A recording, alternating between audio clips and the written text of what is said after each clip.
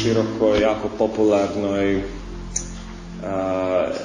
i zapravo lako prihvatljivoj temi temi koja je baš namijenjena za, što bi se rekla, narod, da narod bolje razumije. Ne misli se tu na manje inteligentne, nego na šire mase, da se upoznaju sa tematikom vetske kulture, vetske mudrosti, razumijevanja ovog svijeta i zbog čega se određeni zakoni i principi slijede. Isto tako, u, u temi o polubogovima i demonima u vetskoj tradiciji potrebno je definitivno spomenuti vetsku priču. Drugim riječima, kao što svaka religija ima svoju priču. Zašto smo tu? Ko nas je tu stavio? Kada? A, I zbog kojeg razloga? Koliko ćemo još tu ostati? I što slijedi nakon ovog života? Zašto se ovo sve zbiva što se zbiva? Jel? Kakav je ovo sve scenario? Ko je tu odgovoran? Ja hoću dežurnoga krivca, hoću znati zašto me stvari nekad lupaju po glavi, nekad maze, nekad mi stvari uspjevaju, nekad ne, nekad se želje ispunjavaju, nekad ne, molitve, preklinjanja, prijetnje, koji, koji je tu zakon uopće. I standardno u večkoj kulturi danas u moderno vrijeme, u zadnjih 500-600 godina od kada je hinduizam nastao. Ne znam ste upoznati s tim, hinduizam je najnovija religija. Ona je nastala, postoje naravno razni, razna tumačenja, a, ali ovoga zapravo ni hindusi nisu svjesni, a to je da je hinduizam stvoren od strane britanskih okupatora. Kad su vidjeli da ne mogu pobijediti Indiju, da im ne, ne mogu srušiti njihov duh i njihovu kulturu, baš zbog toga što se većka kultura kad su došli e, Indijci tamo, ovaj Englezi, nisu se opirali. Bog je, e, ne znam, Jahve. Je, da Jahve. I njegov sin je Isus. Da, Isus, sve, naravno, da, zašto ne prihvaćamo, ništa se to ne kosi sa vetskim. I onda su vidjeli, ovi ljudi, ne samo da nisu ovaj, divljaci, već imaju vrlo razvijenu kulturu i logiku i mudrost. sve živo, sve polje ljudske kulture su razvijene do tih mjera da ih je konačno bilo sram i onda su morali udariti po njima. I onda kad nisu ni to mogli silom, onda su ono što su napravili je kreirali religiju koja su sve živo ispomiješali, kompletno izbacili osnovni cilj Vedante i zaključak Vedante i stvorili nešto što se danas zove hinduizam. I kad neko pita što je to hinduizam, nitko ne može dati definiciju. Nitko ne može dati definiciju osim da ne izmišlja nešto. Hinduizam je oficijalna religija indijskog poluotoka, ali tako nešto, to, to nije definicija. To ne govori ništa o hinduizmu. Hinduizam je gulaš. I svako tu može naći nešto za sebe, to je činjenica, ali on sam po sebi nije tvorevina vetske kulture. To je poanta. Znači, hinduizam ne mora, e, ne, predstavlja vetsku kulturu, niti vetsku mudrost. Već uzima dijelove veda, tematiku veda i čini od toga e, neku predstavu, odnosno svako tu može e, u hinduizmu ne možeš biti u krivu, to je poanta. Ne možeš imati krivu filozofiju, sve prolazi. To je, to je problem, znači nema te diskriminacije što je ispravno, a što nije. I bede ne igraju, ne igraju na tu kartu. Pa ako god šta za sebe odabere, to je dobro za njega. To, a, to, nije, to nije ispravno. Ne? Naravno, ljudi koji žele na taj način, bez diskriminacije, bez da ih iko izazove zbog njihovih vjerovanja. Ču ja se ne slažem s tobom, mislim da su u krivu. Ako ne želimo takve izazove, onda ćemo reći da su svi u pravu i onda ok, onda nikad nećemo napredovati stvarno, ništa novo naučiti, nikakav izazov dobiti. Ne. Čak i ako slijedimo ispravan put, mi ga možemo razumjeti krivo. I ako nas neko izazove, to ne znači da je put koji slijedimo kriv, već možda ga mi pogrešno doživljamo. I to je uglavnom, uglavnom to ono što je. Svi religijski putevi su zapravo u svojoj srži apsolutno istiniti, apsolutno pozitivni i vode ka konačnom cilju, no interpretacija može biti svakojaka. I sada priča, većka priča. Ja? Dakle, postoji, da, da skratim da bude to e, jednostavno za razumjeti, da, da, da možemo staviti to bez da izgubimo ove sve informacije koje ćemo danas čuti, a, u jednu kratku priču o tome kako smo mi došli u ovaj svijet i čemu služi ovaj svijet i kako ovaj svijet funkcionira. Dakle, postoji dvije energije, materijalna i duhovna. Materijalni svijet, duhovni svijet. A, čitava kreacija je neograničena. I materijalni svijet sadrži četvrtinu te neograničene kreacije. Znate koliko je četvrtina od neograničenog? Neograničeno također. Ali eto, vede tako razdjeljivo četvrtina od neograničenog. A, jer ne može biti ograničena. To nije način na koji Bog kreira. Bog kad kreira sve je vječno, zauvijek. A, I neograničeno. Znači, nema onoga, au, da, nisam mislio na to, to ovo sam trebao stvoriti.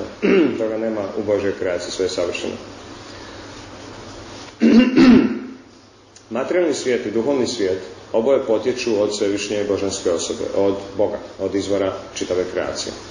I stoga, pošto je izvor čitave kreacije duhovan po prirodi, sve što izvire iz njega također je duhovno. Tako je materijalni svijet također zapravo duhovna energija, koja samo igra ulogu a, trans, vječno transformirajuće energije a, koju onda mi zovemo materijalna energija i uvedemo se ona naziva niža energija. Imamo viša božanska energija i niža božanska energija. A viša božanska energija naravno se odnosi na duhovni svijet i samog Boga kao izvora oba svijeta.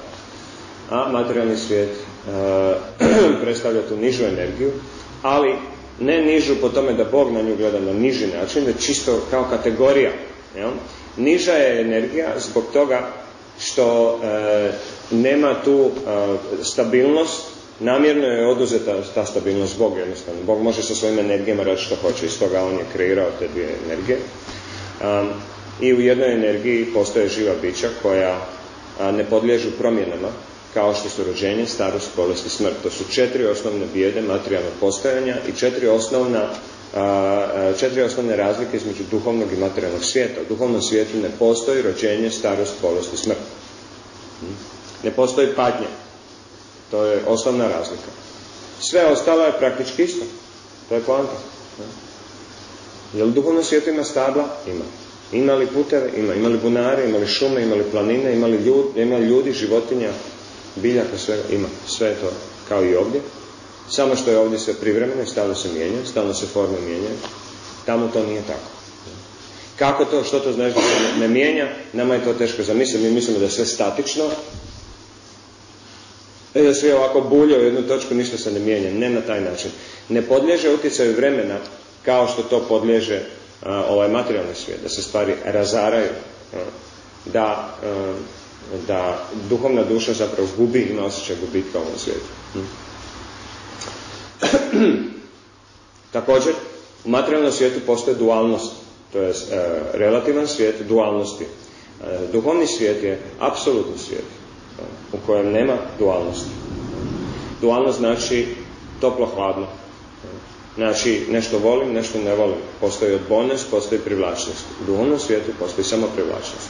Ja, to je tako. razlika. Duhovni svijet služi tome da Bog osobno sa svojim dušama ima vječne zabave, da ima vječne odnose, znači igra, zabava, tulumarenje,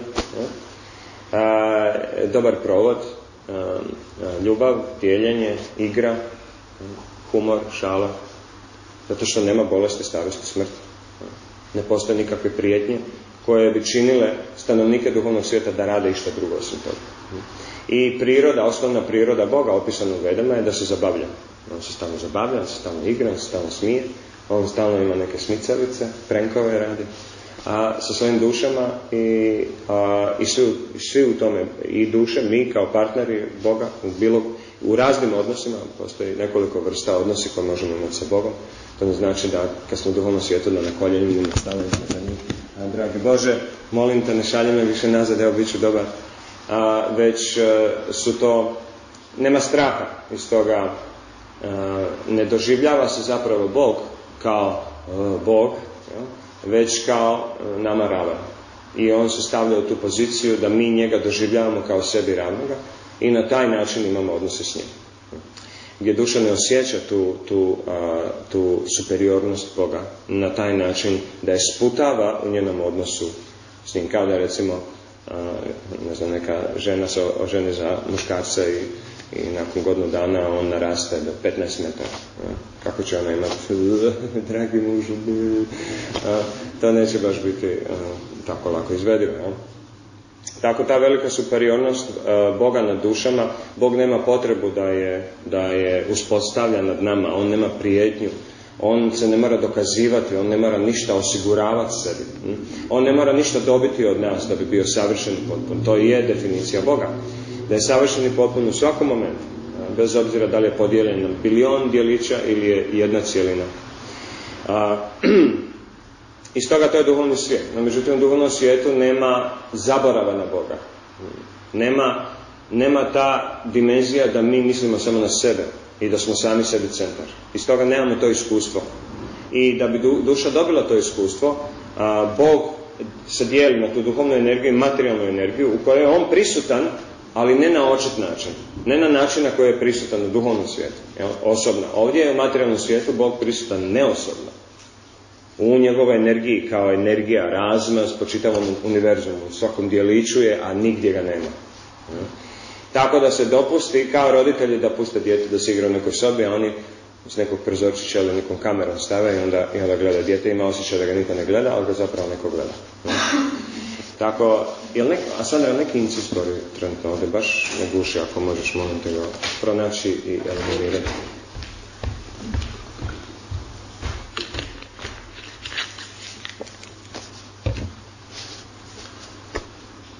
I,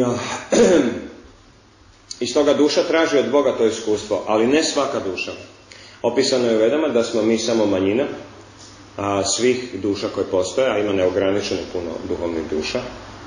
I a, jedna manjina, da tako kažemo buntovne duše, ja, dođu ovdje da iskušaju kako je to bez Boga. Kako je to iskustvo. Ne zato samo da bi se inatile Bogu, jer nama je tamo super.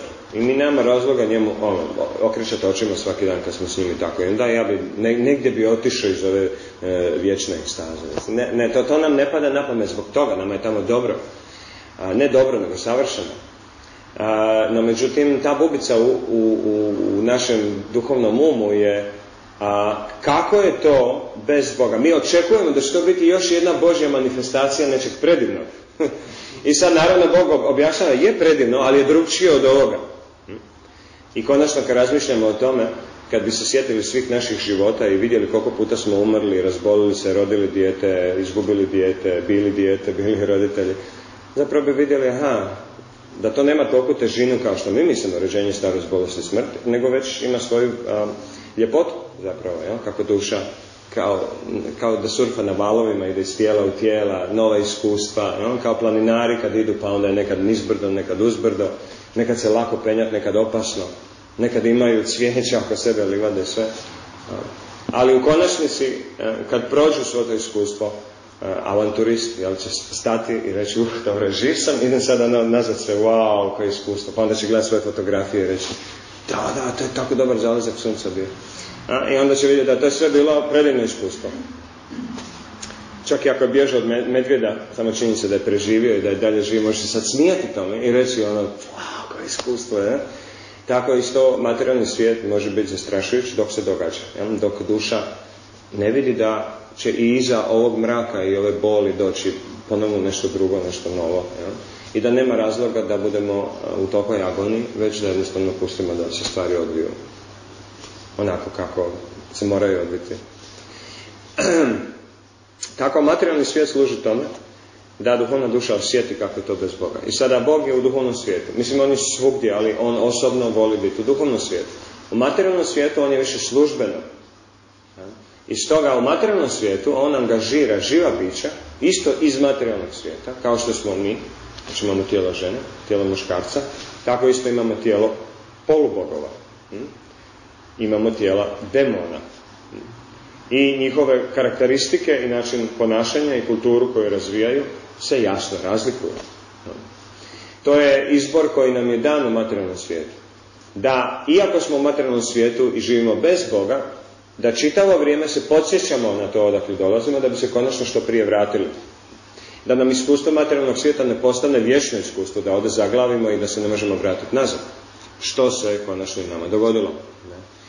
A, dakle, polubogovi su živa bića koja isto imaju materijalno tijelo no međutim njihova su tijela daleko naprednija i moćnija od naših, imaju veći kapacitet. Njihovi umovi su daleko više razvijeni, odnosno, pardon, oni imaju iste umove kao i mi, ali ih više koriste. I zbog toga imaju prilagođena tijela koja dulje traju, koja su više otporna na propadanje i bolove, za razliku od naših. Imamo dosta gruba tijela i svaki udarac se osjeti dok recimo polubogovi imaju više subtilna tijela. tijela sastavljena kao što mi imamo, od čega je naše tijelo najviše sastavljeno, po izgledu, što mislite? Imamo elemente zemlja, voda, vatra, zrak, eter. Zemlja, voda, vatra, zrak, eter. Od čega smo mi najviše sastavljeni? Vode. I onda? Nakon toga? Jel ovo očito nije voda, jel? Zemlja, da. Znači mješavina zemlje i vode, više vode nego zemlje.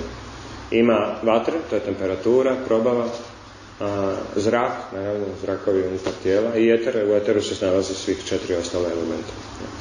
Tako, imamo tu neku proporciju i zato nam je zapravo tijelo više kao neko osušeno blato.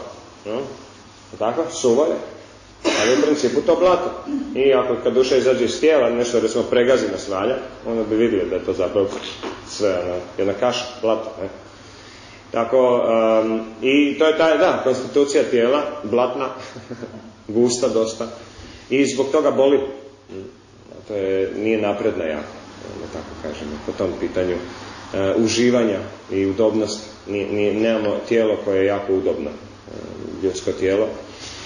Polubogovi svi imaju ljudolika tijela sa dodatnim karakteristikama. Mogu imati neke dijelove koji su životinski, no međutim glavna karakteristika je osnovna to da imaju ljudoliki ljudolik, ne ljudski nego ljudolik. I recimo tijelo poluboga sunca je sačinjeno očito od većine, većinom elementu. Znači eter, zrak, vatra i tijelo poluboga može biti sačinjeno od samo jednog elementa, elementa kao što je voda ili eter ili zrak ili zemlja. Samo jedan element, dominantan, možda 90 nešto postoji. I kako mi možemo vidjeti takvu osobu? Kako mi možemo vidjeti dušu, odnosno osobu, dakle dušu koja se nalazi u takvom tijelu? Takvo tijelo ne možemo vidjeti. Ne sa našim očima, koje zrak ne vide. Mi ne vidimo zrak, mi ne vidimo čestice a, dušika i kisika. Je tako? Ne vidimo kako naokolo radi svoje aktivnosti. Ne vidimo mi to. Stoga kad bi se pojavio polubog čije je tijelo načinjeno uglavnom od elementa zraka, mi ga ne bi vidjeli kako prolazi ovdje. Tako, um, znači polubogovi imaju jako napredna tijela, dugo žive, no međutim njihova tijela su položaji, kao na primjer šefica banke, direktorica FINE, uh, radnik uh, na parkingu i slične stvari imaš uniformu i ta uniforma znači nešto. Ne možeš sad ti sa uniformom Zagreb parkinga doći tamo na autobusni kolodor i njima govoriš što da rade. Jel? Gdje ti je određeno dijelo i kapa i znak. Ne, ne spadaš u ovu regiju, nemaš autoriteta ovdje. Jel? Ne možeš kontrolirati tu ništa. No, međutim, kad imamo odgovarajuću odjeću, značku, auto, onda imamo autoritet kontrolirati određeni dio. Jel tako? Naprimjer, a, kad nekoga se stavi u odjeću prometnog policajca, on može doći na bilo koji semafor i automatski svi prihvaćaju njihov autoritet. Ukoliko osoba ne prihvati autoritet, bit će žestoko kažnjena. Ne znam da su kazne veće ako proletimo kraj prometnog policajca koji regulira promet. Ja mislim da sigurno jesu, samo mu ugrozili direktno njegov život. Ne? A, bar bi trebalo biti. I automatski čini on digne ruku i zazviždi. Nije on stvarno nikakvu moć nema on moć da zaustavi auto sa nekom silom, već je to taj autoritet koji je dao. Znači, opunomoćena osoba automatski e, kontrolira zakone zbivanja e, živih bića, jel, koji se nalaze u toj domeni postojene. Polubogovi imaju poziciju i oni moraju izvršavati svoje funkcije vrlo strogo, vrlo odgovorno, daleko odgovornije nego što mi možemo zamisliti i jednu funkciju na ovoj planeti Zemlji. Daleko, daleko iznad toga. Oni su za nas vanzemaljci. Ono što mi gledamo naokolo, snimke razne i možda neko od vas vidio nešto na nebu.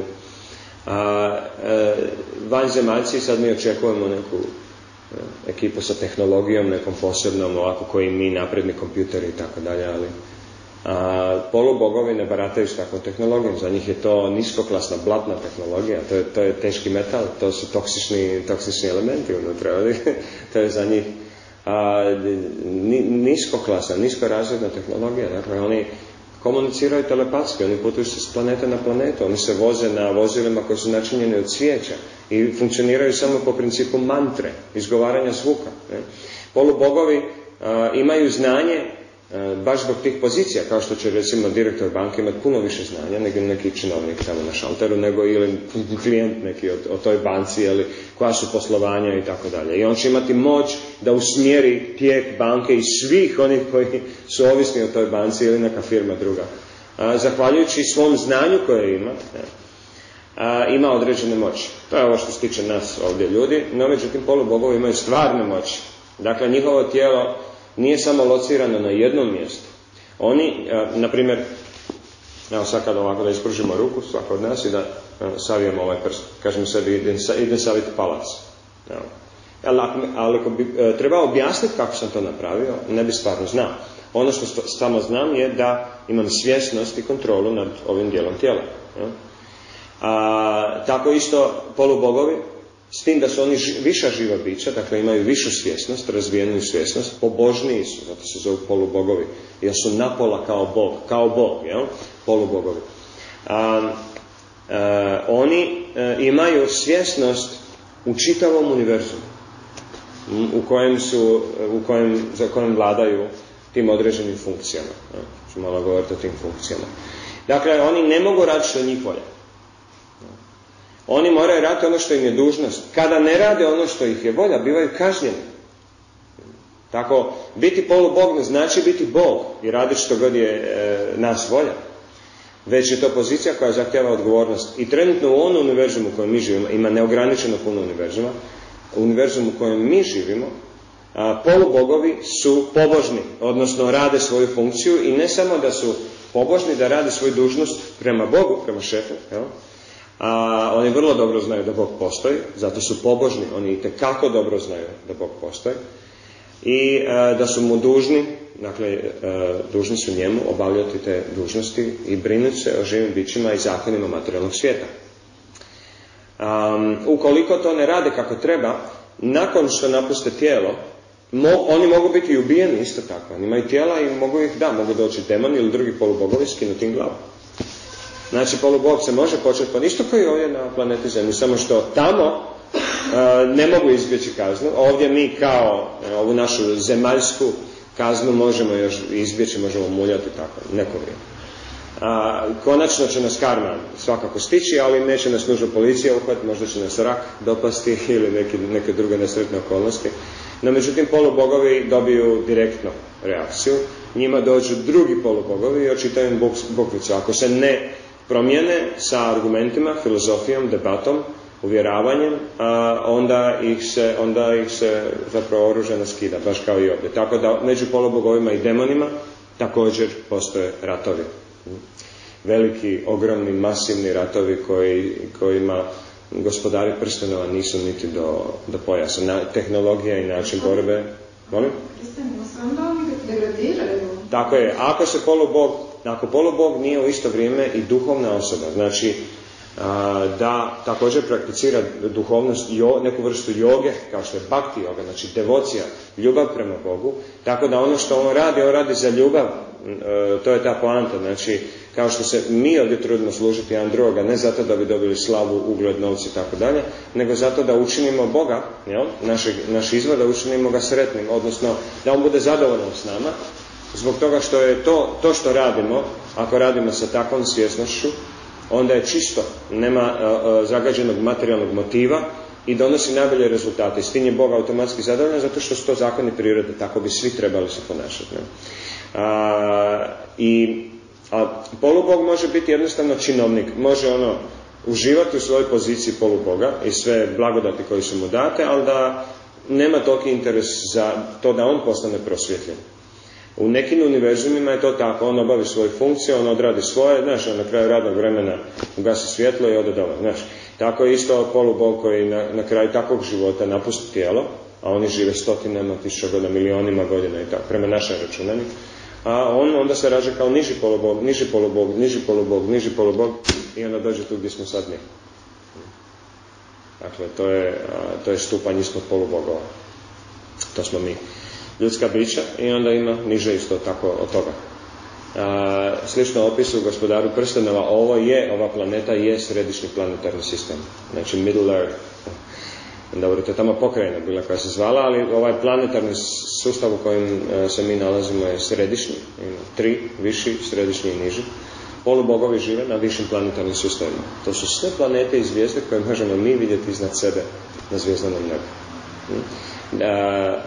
Demonske planete ne možemo vidjeti ili možda samo tu i tamo koju. Uglavnom što vidimo Sunce, Mjesec, Venera, Mars, Jupiter, Saturn.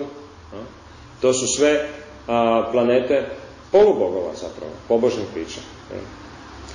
A njihov utjecaj planeta na, naš, na našu planetu, to je druga priča. No, međutim, zato što tu postoje razne energije i razne zakone što se tiče astrologije, ali sama predsjedavajuća božanstva na tim planetima su polubogovi u ovom univerzumu, koji su također pobožni, drugim riječima bakta su, posvećenici duhovnom redu, nisu samo visoki činovnici materijalne kosmičke kreacije, što je samo po sebi za nas apsolutno nezamislivo da se iz bilo kojeg univerzuma pojavi najniže neki polubog, a, koji je zadužen tamo da servira ovima drugima. Mi bi mislili da je to Bog. Mi bi svi ovdje mislili da je to Bog. To je toliko napredno i toliko iluminirajuće i toliko iznad nas, toliko neshvatljivo. Kaže se da se polubogovi u ovom dobu ne pojavljuju pred nama, iako to njima nije nikakav problem. Zbog toga što niko od nas ne bi izdržao takav prizor. Izgubili bi razum. To je ta poanta. Ne bi se više mogli koncentrirati na ništa u ovom materijalnom svijetu. Totalno bi bili... Izgubili bi razum.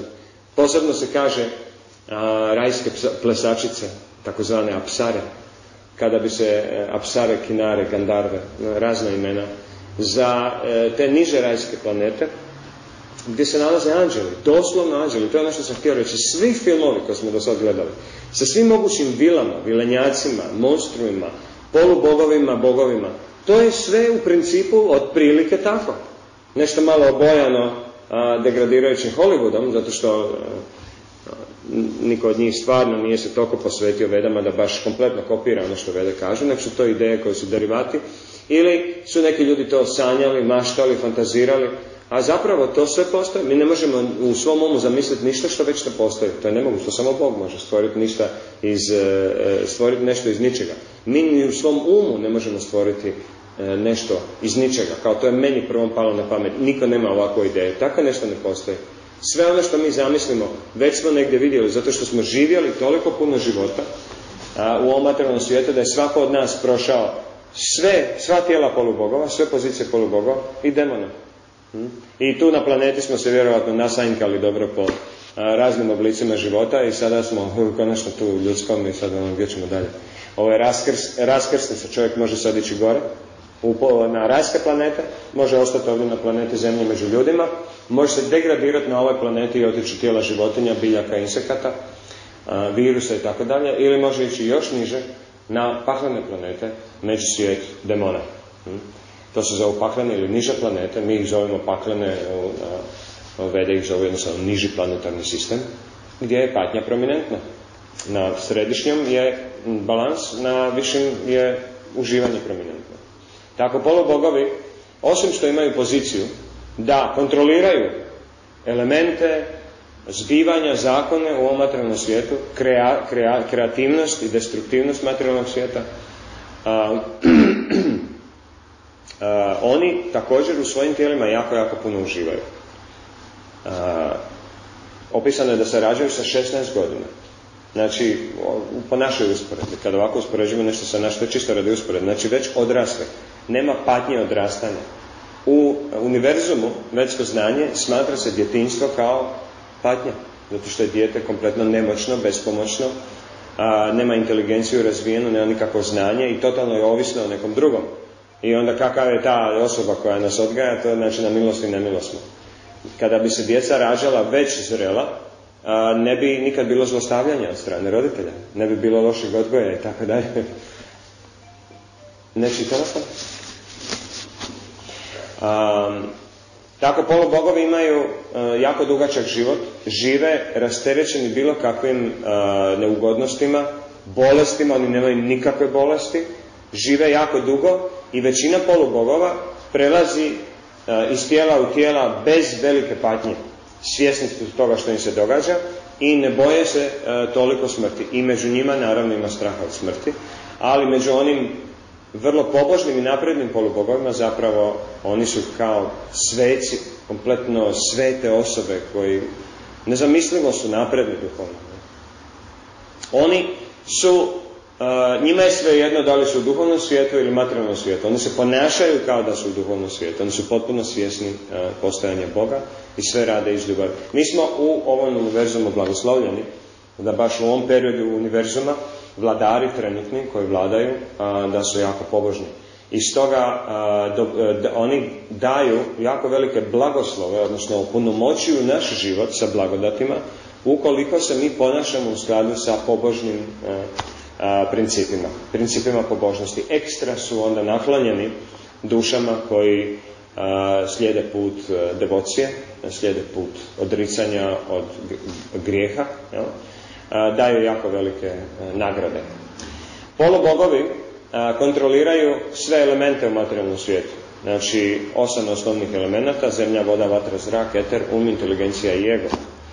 A, oni kontroliraju a, e, materijalne zakone kao što je gravitacija, onda vremenske promjene kao što je pa, oborine razne, znači kiša, snijeg, tuča, grad, vjetar, znači gibanja zraka, onda toplinu univerzumu, ali ne samo na planeti Zemlji, na svim planetama. To je poanta.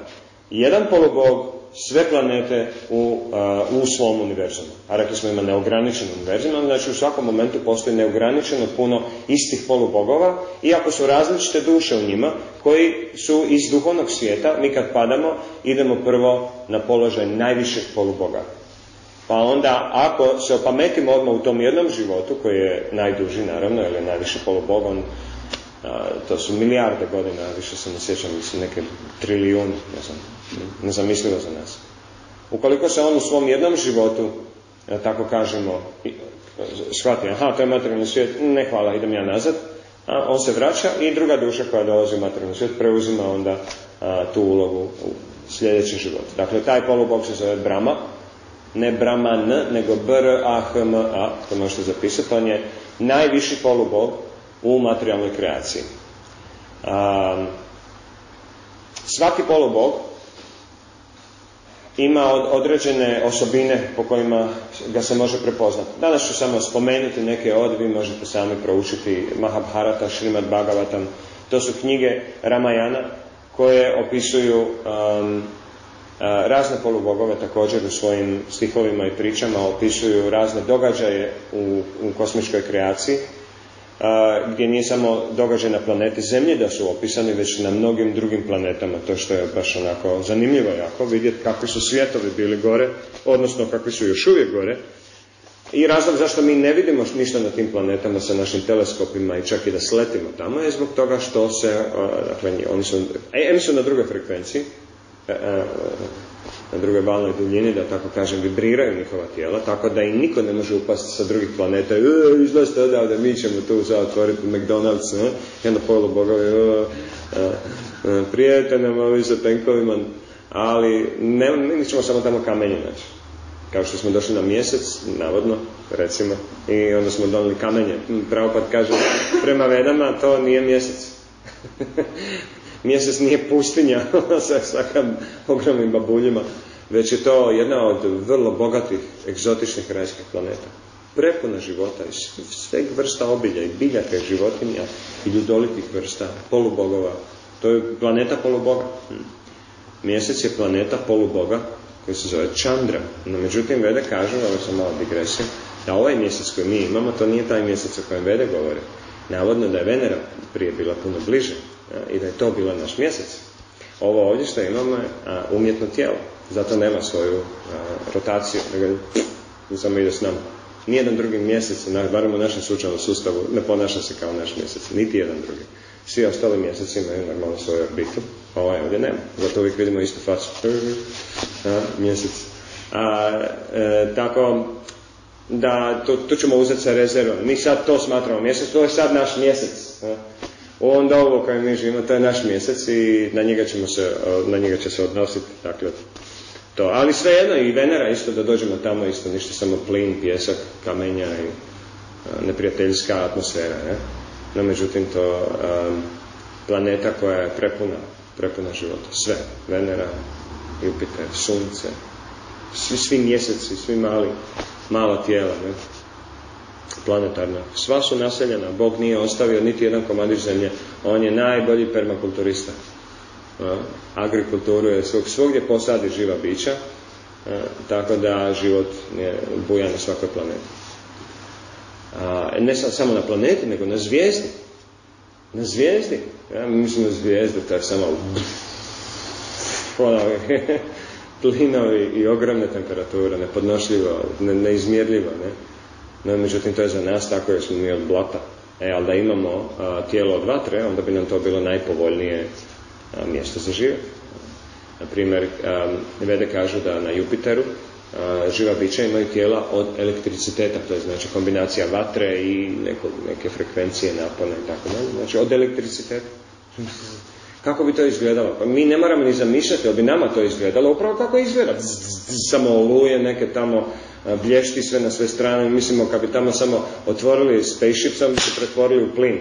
Ono, momentalno, to je takva planeta, pritisak zraka, pla, ovaj, plinovi, elektricitet, oluje, mislim, apsolutno negostoljubivo. To je security pravi, to je Sokol Marića ovog univerzuma.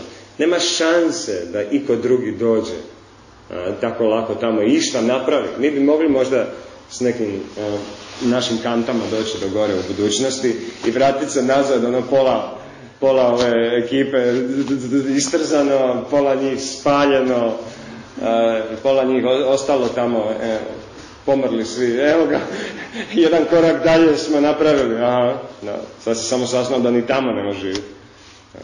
To, tako to je smijurija. Ali mi možemo doći na druge planete, kažu Vede, samo trebamo biti pobožni u ovom životu, raditi određene procese, dakle određeni životni stil, određene aktivnosti i u sljedećem životu bit ćemo unaprijeđeni na više planete.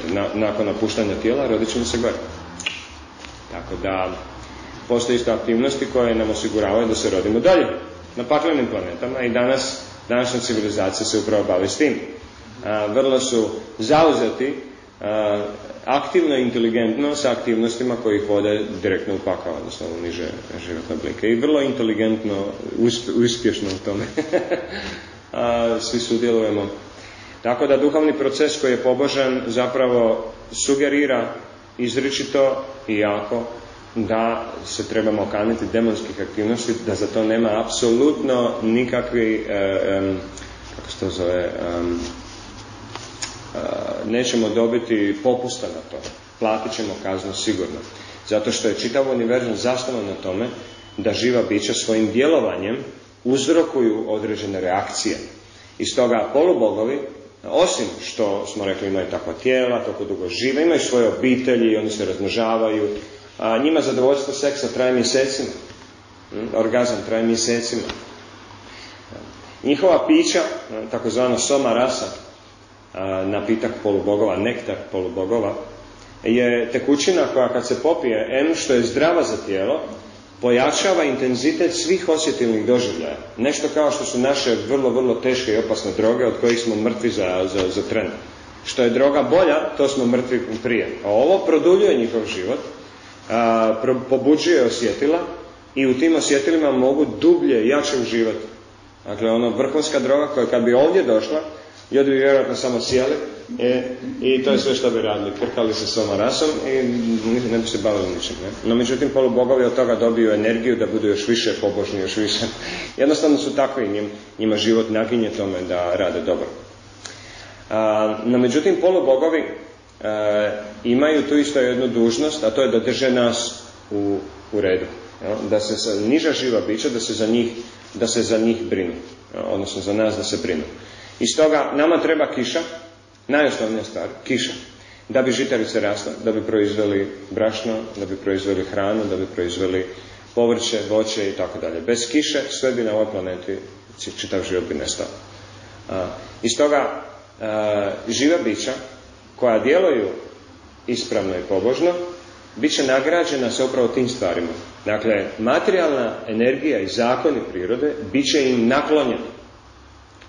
Kiša pada u pravo vrijeme, sunce sije u pravo vrijeme. Snijeg dolazi u pravo vrijeme, snijeg odlazi u pravo vrijeme. Neko kod nas danas. I u čitavom svijetu samo bam istriska materijalna energija nas istriska u petom, šestom mjesecu a, i onda uništi usjeve, glad, dignu se cijene. To je zbog toga što polubogovi nisu zadovoljni grešnim aktivnostima koje ljudi rade na planeti Zemlje. Sama planeta Zemlja je jedan od polubogova. Zove se BHUMI, Bhumi. E, ženskog je, e, ženske je, to je ženski polubog, Bhumi. I ima oblik krave, a ima svjesnost čitave planete. E, I Bumi je ta koja daje urode, koja daje plodnost, koja čini da li će pčele živjeti ili ne. Mi mislimo da smo mi veliki kontrolori toga, ali zakoni prirode nisu u našim rukama. Ono što mi možemo, na primjer kada ljudi koriste atomsku energiju i tako dalje, polubogovi jednostavno mogu reći ne i bomba neće eksplodirati. Polubogovi moraju reći da. I oni kažu da, da bi nas kaznili. Da bi nam dali reakcije na naše, na, na naše bezbožno djelovanje, na našu odvojenost od Boga. I, I sa tim reakcijama da bi nas vratili nazad. Nećeš niti jesti zdravo, niti disati zdravo, niti piti zdravo, niti ćeš imati zdrave partnere u životu, ni zdravu djecu, ni zdrav posao, ništa, sve će ti biti kontaminirano. Zašto? Zato što si bezbožan. I mi, naša je dužnost da ti ne dajemo plodove rada. Makar teško radio, nećeš dobiti plodove koje tražiš. Dobit ćeš negativne plodove. I tako, polobogovi su za to zaduženi. I osoba koja ima punu vjeru u nastroj, ustroj e, e, ovog univerzuma, kojeg je sam svevišnja božanska osoba, pisan kao Višnu, odnosno Krišna, raznih imena, naravno. On je sam mm, odredio, to će biti tako, tako i tako. Pošto je Bog savršen, nitko ne može izbjeći njegov utjecaj. U ostalom, sposobnost u polubogovima, njihova moć, njihova tijela, sva su satkana od energije koja konačno dolazi od Boga. Mm. I stoga konačno Bog upravlja sa svim, ne polubogovi. U konačnici, jel? Bog upravlja sa svim i svjestan je svakog atoma i svakog živog bića čitave svoje kreacije. No međutim, on nama daje kroz materijalni svijet, kroz ovaj put, šansu da se ponašamo pobožno, da polako napredujemo i da konačno se vratimo nazad odakle dolazimo. Jer u ovom svijetu rođenje, starost, bolest i smrt ne može se izbjeći niti na jednom položaju. Polubogova, demona, srednjih planeta, nikakvim trikovima tehnologije. Vanzemaljci koji dolaze, to je ono što, ljudi, se ljudi nadaju, materialistički ljudi koji su kvazi spiritualisti. A, evo mala jedna kritika, sada osužujem se taj kvazi spiritualizam ne vodi nikama, a to je ta ideja da, će, da nam dolaze vanzemaljci i da oni nose i tehnologiju i možda mogućnosti da možda, možda, šta? Šta da nam daju? A? Šta mi očekujemo da nam neka dobra a, a, vanzemaljska vrsta donese ovdje? Da živimo. Da? Da živimo za uvijek. Tako je, da živimo za uvijek. I što onda to osigurava? To osigurava da se ne moramo brinuti za Boga i, i, i biti pobožni i tako dalje. Dobijemo vječni život putem neke tehnologije i parti do kraja sada, do, nema kraja. Ne? No međutim, to je iluzija. Niti jedan vanzemaljac u ovom materijalnom svijetu ne živi vječno. To su sve ili polubogovi ili demoni koji imaju ograničeni vijek trajanja. I tekako se boje smrti. Ne kao mi, ali se boje smrti. Oni znaju da moraju umrijeti i ukoliko se ne ponašaju pobožno, idu dolje. Tako, a da te neke iluzije maknemo odmah, u materijalnom svijetu svugdje vlada rođenje, starost, bolest, smrt, koliko god da je osoba čak i na položaju uzvišenog brame, a, mora u konačnici napustiti svoje tijelo, napustiti svoju poziciju. Od poluboga Brame, to je najviša planeta u materijalnom univerzumu, kreću se dolje planete visokih mudraca i visokih polubogova. Kad kažemo visokih, znači visoko napredno, oni su samo korak u duhovni svijet. Su potpuno svjesni toga svega. I sada se pita zašto bi Brama otišao na niže pozicije, zašto postoje te niže pozicije. A zbog toga što e, se javi, znači u jednom dijelu duša, to smo mi svi ovdje, i tako da upoznamo malo svoju pravu bolest o kojoj vedi govore, a to je bolest ja želim kontrolirati i ja želim uživati za sebe. Kao kad dobijemo neku moć ili kontrolu nad drugim ljudima, onda automatski idemo raditi planove na koji način ćemo mi osim obavljanja dužnosti malo i za sebe i za svoj gušt nešto napraviti. A, malo reći nekome, direktor će se usuditi, reći, mala, aj mi molim te skoči po kavu. I on zna da će ona to napraviti, iako možda to nije u redu da tako radi. Da on ne može koristiti druge ljude za svoje osobne potrebe i posebno ne za svoje osobno uživanje. Ako je u pitanju biznis, onda neće biti ni mala ni ovako, nek će biti gospođa, gospođica taj ta, ćete li biti ljubazni da za mene i mog klijenta donesete ovdje jednu kavu ili čaj ili šta ja znam. To je druga stvar, to je po dužnosti, ne? ali mi vidimo kako kad dobijemo neku moć, mi uvijek imamo tendenciju da je zloupotrebimo za one sitne stvari ili za one grube stvari, ali imamo tu tendenciju, svako od nas. Kad nam se da moć u ruke, mi ćemo je na neki način skoristiti za svoje sebično uživanje. A to je, to je uzrok pada u niže oblike života. Upravo to aha, sad ću ja, sad ja mogu upravljati, sa ovim sad mogu upravljati, sa ovim da vidimo sa što ću ja. Onda postanemo malo kreativni.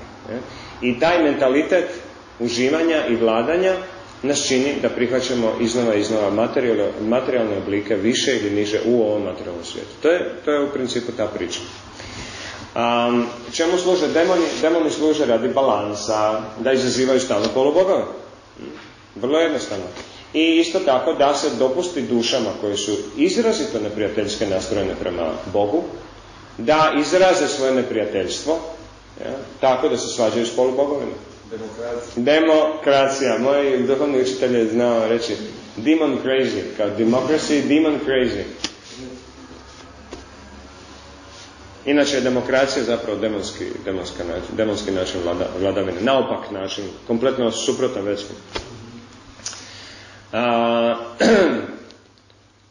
tako, polubogovi znači ima ih oni koji vladaju materijalnim elementima, znači najviši je Brama, odmah do njega Šiva.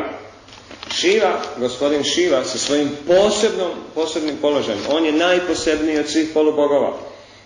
Gospodin Šiva je, ima posebnu poziciju. Nitko drugi nema tu poziciju.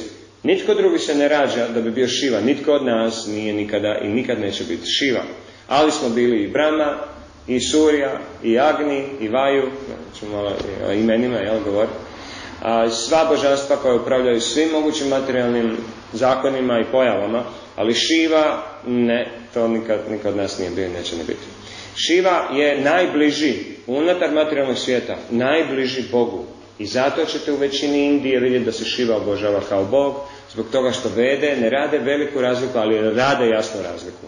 Postoji Višnu, postoji Brama, postoji Šiva, to je kao sveto trojstvo vedske e, kulture, posebno u hinduizmu, oni će se s tim, uh, Brama, Višnu i Šiva. Jel?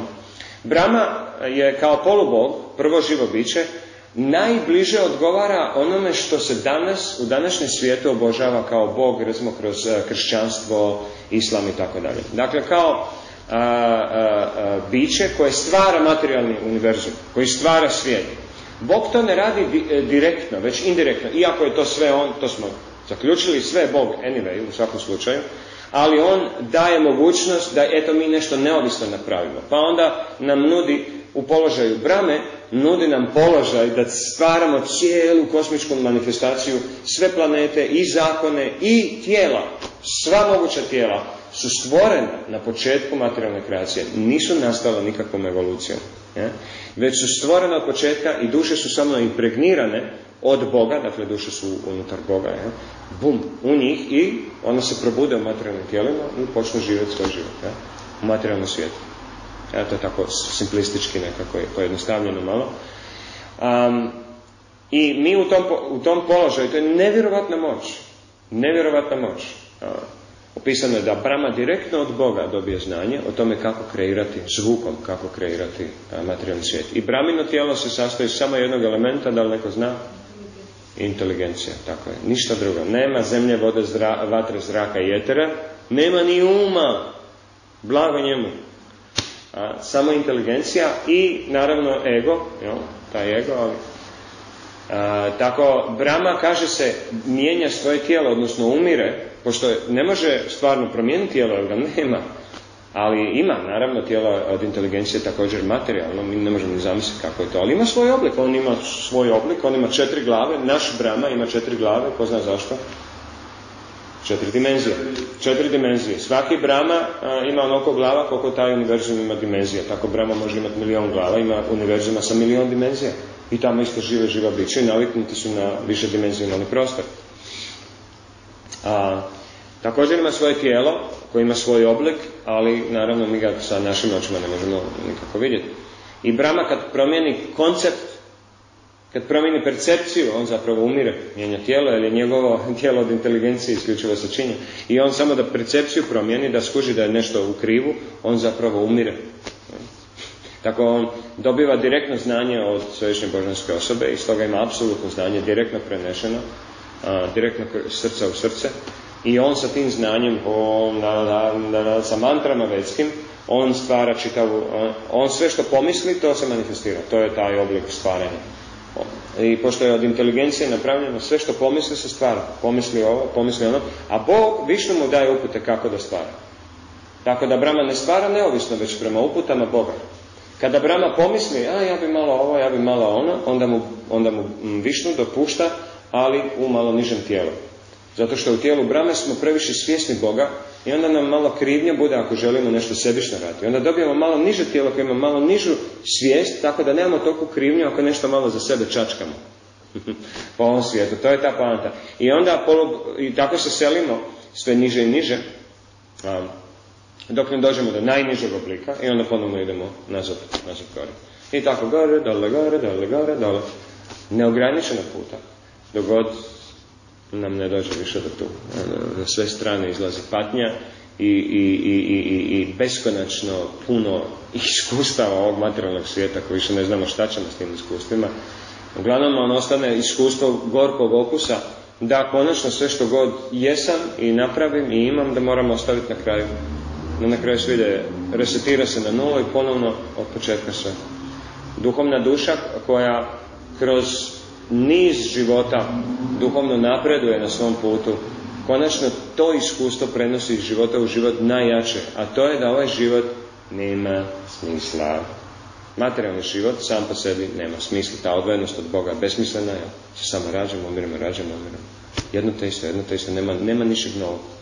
Nema ničeg novog. Gdje god da odemo, da odemo na najviše planete poluboga, da vidimo tu veličanstvenost, nepodnošljivu veličanstvenost. Naš um bi eksplodirao, ne bi mogao izdržati to. To je, pretjerana ljepota, da tako kažemo, za naše standarde. To je neopisiva, ne može se u nijedan film staviti.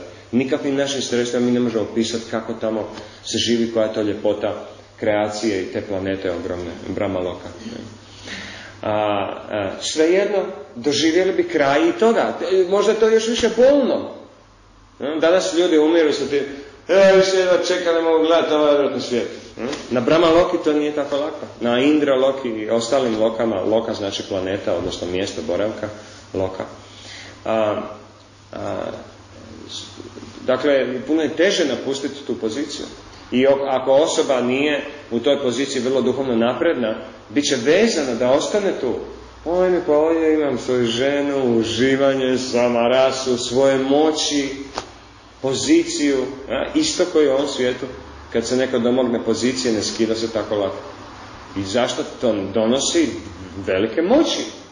Taman da smo neki samo industrijalac koji ima neku tvornicu i sve to je, da vidiš, odmah smo politički povezani, ekonomski povezani, veliki novac se tu vrti, puno mogućnosti, u jednog dana mogu imati cijelo ovo selo za sebe, pa onda komad ove industrije, pa to je ta ideja, u, za sebe, ja ću uživati, što više imam, što više kontroliram, to ću više uživati, ovo je sad moje, ovo je moje, ja ću svoj raditi što mene volja i tako malo po malo padamo. a, i degradiramo se i doživljavamo puno veću patnju. To je, da tako kažem, reakcija na mentalitet kontroliranja i uživanja. I kad budete čitali večke spise, posebno naprednije, kao što je Bhagavad Gita Šimad Bhagavatam, to će se iznova i iznova ponavljati. Mentalitet kontroliranja i uživanja je ono što donosi patnju. I stoga osoba koja želi istići patnju materijalnog svijeta, i odustati, odnosno vratiti se nazad u duhovni svijet, tu duhovnu sferu postajanja, mora odustati od ta dva mentaliteta, a to je mentalitet ja sam kontrolor i ja sam uživatelj. Ovo je moje, ovo je ja i moje, to je ta ideja. Ja i Ja sam ovo tijelo i sve što pripada ovom tijelu je moje. Sve što ja vidim da, meni, da bi meni odgovaralo, ja ću to zgrabiti, to će biti moje i ja ću u tome uživati. Bez obzira da li se Bog s tim slaže ili ne. Ignorirat ću to da postoji Bog. Ignorirat ću da kao da dođemo u trgovinu neko i onda počnemo tamo po onim strojevima nešto čačkati i upravljati. Neko će doći i čekaj, trebaš pitati da li možeš to. Nije ovo tvoje. I ostalo, možda ne znaš kako se s tim upravlja, propastit ćeš sve, napravit ćeš štetu. I naravno onda stiže kasno. Ako u nekom, nekoj trgovini nešto polovimo, oni zahtijevaju da to kupimo. Tako u materijalnom svijetu e, najgori mentalitet je taj ja ću živjeti kako je mene volja. A to je upravo poanta materialističkog života da osiguramo što više ja i moje, da imamo što više imanja, da bi mogli raditi što više stvari koje samo ja hoću. E da mi niko ništa ne može, da sam iznad zakona što je više moguće. I zato novci, zato pozicija, zato ugled, zato sve ove svinjarije koje radimo majmunarije po ovom svijetu. Samo da bi jednog dana sjeli i rekli sad će ja što je mene volja. I kad je mene volja i koliko je mene volja. I niko mi ništa neće moći. Tako, taj mentalitet se ne nagrađuje, već kažnjava, odnosno donosi svoje reakcije koje su te demonske prirode. Danas ćemo više govoriti o toj pobožnoj prirodi, božanskoj, znači već smo dosta toga rekli. Dakle, Brama, onda imamo Šiva. Brama je zadužen za kreaciju, on kreira sve. On kreira tijela, Višnu ih oplodi sa dušama. Višnu nije polubog, to je jedina razlika. No međutim vrši funkciju polubogova, poluboga kao Bog, znači Bog direktno dolazi i vrši funkciju poluboga, poluboga u materijalnom svijetu i e, njegovo ime je Višnu, dakle to je, to je ta, e, i imamo izvedenice Višnu, manifestacije razne Višnu, kao što su Maha Višnu, Garboda Kašaj Višnu i Kši, e, Kširoda Kašaj Višnu, koji je isto poznat kao Karanoda Kašaj Višnu.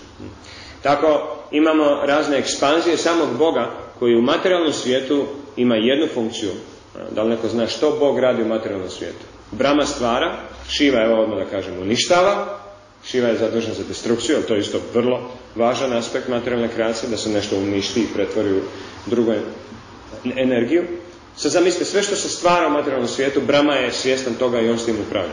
Sve što god se uništava bilo gdje u materijalnom svijetu, Šiva kontrolira to sa svojom svješću. Višnu je zadužen za održavanje. To je ono što je najteže i nijedan drugi polubog nije sposoban održavati materijalnu kreaciju. Osim Višnova koji se svojim sve prožimajućim sposobnostima prožima čitavu materijalnu kreaciju, održava njene zakone, osnovne zakone, održava planete u svojim orbitama i zakone prirode. On je tkanje na koji polubogovi moraju se osloniti da bi obavljali svoje funkcije. Kao što, na primjer, E, možeš biti šef banke, ali ako građevinari ne izgrade tvoj ofis, nisi šef ničega. Ja? Tako, e, isto polubogovi, oni kontroliraju sva zbivanja, stvaraju, uništavaju i tako dalje. No međutim, Višnu sve to drži u rukama i pušta da se mi igramo u materijalnom svijetu. Da se igramo čega? Da se igramo Boga. To je ta poanta. Znači, u materijalnom svijetu, da bi bili odvojeni od Boga, mi moramo imati mentalitet da ja sam Bog. Odnosno, čak i ako nije izgovoren svjesno, ja i moje. To je mentalitet Boga. Jer duša kad kaže ja, a ne kaže Bog u isto vrijeme, krši osnovni zakon, jer ne postoji samo ja. Ne postoji samo ja. Nije samo sunce gore, nego i nebo, i oblaci, i ptice i sve. A ne možemo samo reći, samo je sunce gore. Nije, druge su planete. I, Tako, um, to je Brahma, Šiva, onda Višnu imamo, dakle to smo rekli, on je za održavanje. I on ne spada u kategoriju polubogova, uh, najbliži mu je Šiva, uh, to smo rekli, uh, po tome što je isto Šiva, ne mora nikad napustiti tijelo. I zato se smatra kao da je Bog, iako je vede su jasne po tom pitanju, Išvara, Parama, Krishna, Sačit, Adanda, Vigraha. A, to je Upanišade jasno i glasno govore. Išvara, Parama, Krishna. Išvara je kontrolor, upravitelj, gospodar. Parama je onaj koji je iznad svih. A Krishna, znači izvorni, odnosno vrhovni Bog svih bogova, zato se on zove Deva, Adi Deva ili Deva Deva, jedno od imena za Višnu, odnosno Krišnu, je da je on gospodar svih polubogova, da je on izvor čitave kreacije, da je on konačni bog, jedini bog, izvorni bog, vrhovni bog. Nema nikoga iznad njega, nikomu nije ravan i niko nije iznad njega. To je ta poanta. Svi su njemu zapravo inferiorni, svi potiču samo od Boga. I taj bog, ja, Višnu, naziva se raznim imenima, Krišna, Višnu, Govinda, Rama i tako dalje, to razne imena. On održava materijalnu kreaciju i u konačnici on upravlja sa svim tim. Onda imamo a, gospodare elemenata, polubogove elemenata, imamo Varunu, Varuna je gospodar a, vode i svih a, oceana i tekućih elemenata u čitavoj kreaciji. A, I E, svaki od polubogova ima svoju pratilju, znači ima svoj šakti, odnosno žensku energiju. Šakti se inače odnosi, šakti kao znači energija, no međutim e, posebno se odnosi na e, energiju ženstvenosti ili žensku energiju.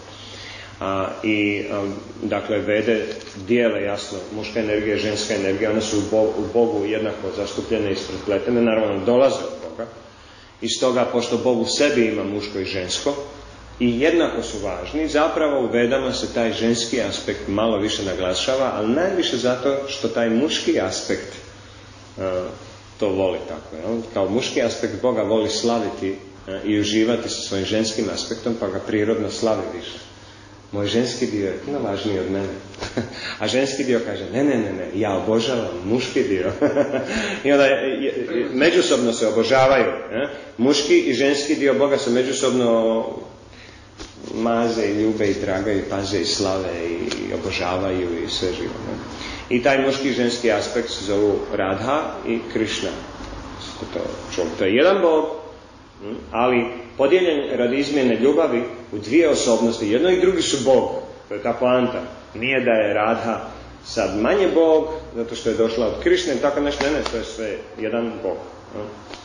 Jedan svemogući bog, Bhagavan, Vasudev, to je ime za Boga, dakle svevišnja božanska osoba, sve prožimajući. No međutim on u sebi ima sve te raznolikosti. Jer kad bi Bog bio samo jedno, a što je sa dva? Što je sa tri? Što je sa četiri? Što je sa zeleno i žuto? A?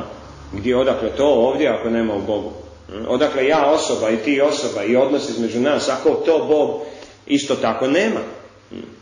Odnos sa svojim vlastitim energijama. Tako postoje različite energije radi te razmjene. I onda, dakle, imamo uh, uh, Rada i Krišna, to je u duhovnom svijetu. Par koje, s kojima mi imamo neograničene zabave. U materijalnom svijetu se oni pojavljaju kao Višnu i Lakšmi. Višnu i Lakšmi, dakle Višnu je u ulozi polu, on je Bog, svevišnja božanska osoba, ali u ulozi poluboga, za, zadržan, e, zadužen za održavanje, i Lakšmi je njegova ženska pratilja, njegova šakti, njegova energija. A, i e, tako isto imamo i ostale polubogove, e, Brama, evo samo da se podsjetim, Bramina pratilja, Sarasat, tako je, da. Ne, ne znam kako mi uopće mogli da se zove. I on e, se vozi, putuje naokolo na labudu, bije velikom bijelom labudu. Tako, i ima isto neke simbole, nosi u rukama na četiri glave. Dobro, to su detalji koje vjerojatno ne bi ni zapamtili da ih sada ono govorimo.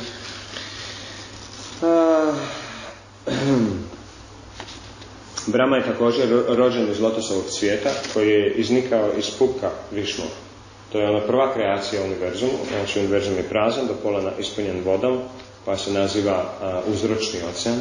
Uzročni, ne slani, ne vodeni, nego uzročni, pa sad da mi mislimo što to znači. Uglavnom, u tome Višnu leži, fino na, na oceanu, na lotosovom cvijetu, a Lakšmi masira noge, služi ga. Iz njegovog kuka izlazi lotosov cvijet, stabljika lotosov cvijet, iz tog cvijeta izlazi brama. Dakle, on je prvi stvoren direktno iz Višnu. I zato se Brama, jedno od imena za je također Ađa, ili onaj koji nije rođen. Onaj koji nije rođen iz maternice kao i mi, ali je naravno rođen iz puka Boga. To je sve teatar koji sam Bog predstavlja, sama kreacija je predivan način na koji se sve stvara. Nije kao kod nas sluz, meso, krv, bolovi, već je sve predivno božanstveno. A, onda, dakle, imamo Šivu. Šiva je predstavljen na svom nositelju Nandiju, a to je bijeli bik. I njegova pratilja je Parvati, boginja, koja je zapravo vladarica materijalnog svijeta. Čitava materijalna energija koja se survava na nas svakog dana, ona zapravo s tim kontrolira. Zato se još zove Parvati, odnosno Durga, odnosno Šakti, odnosno Kali, Uma, ima razna imena, ovisnosti o tome koje funkcije obavlja. Ona ima isto više funkcija kao i Šiva. E, niti jedan polubog nema samo jednu dosadnu funkciju, oni imaju više, ali imaju glavnu funkciju koju obavljaju, ali i druge funkcije su isto njima dane.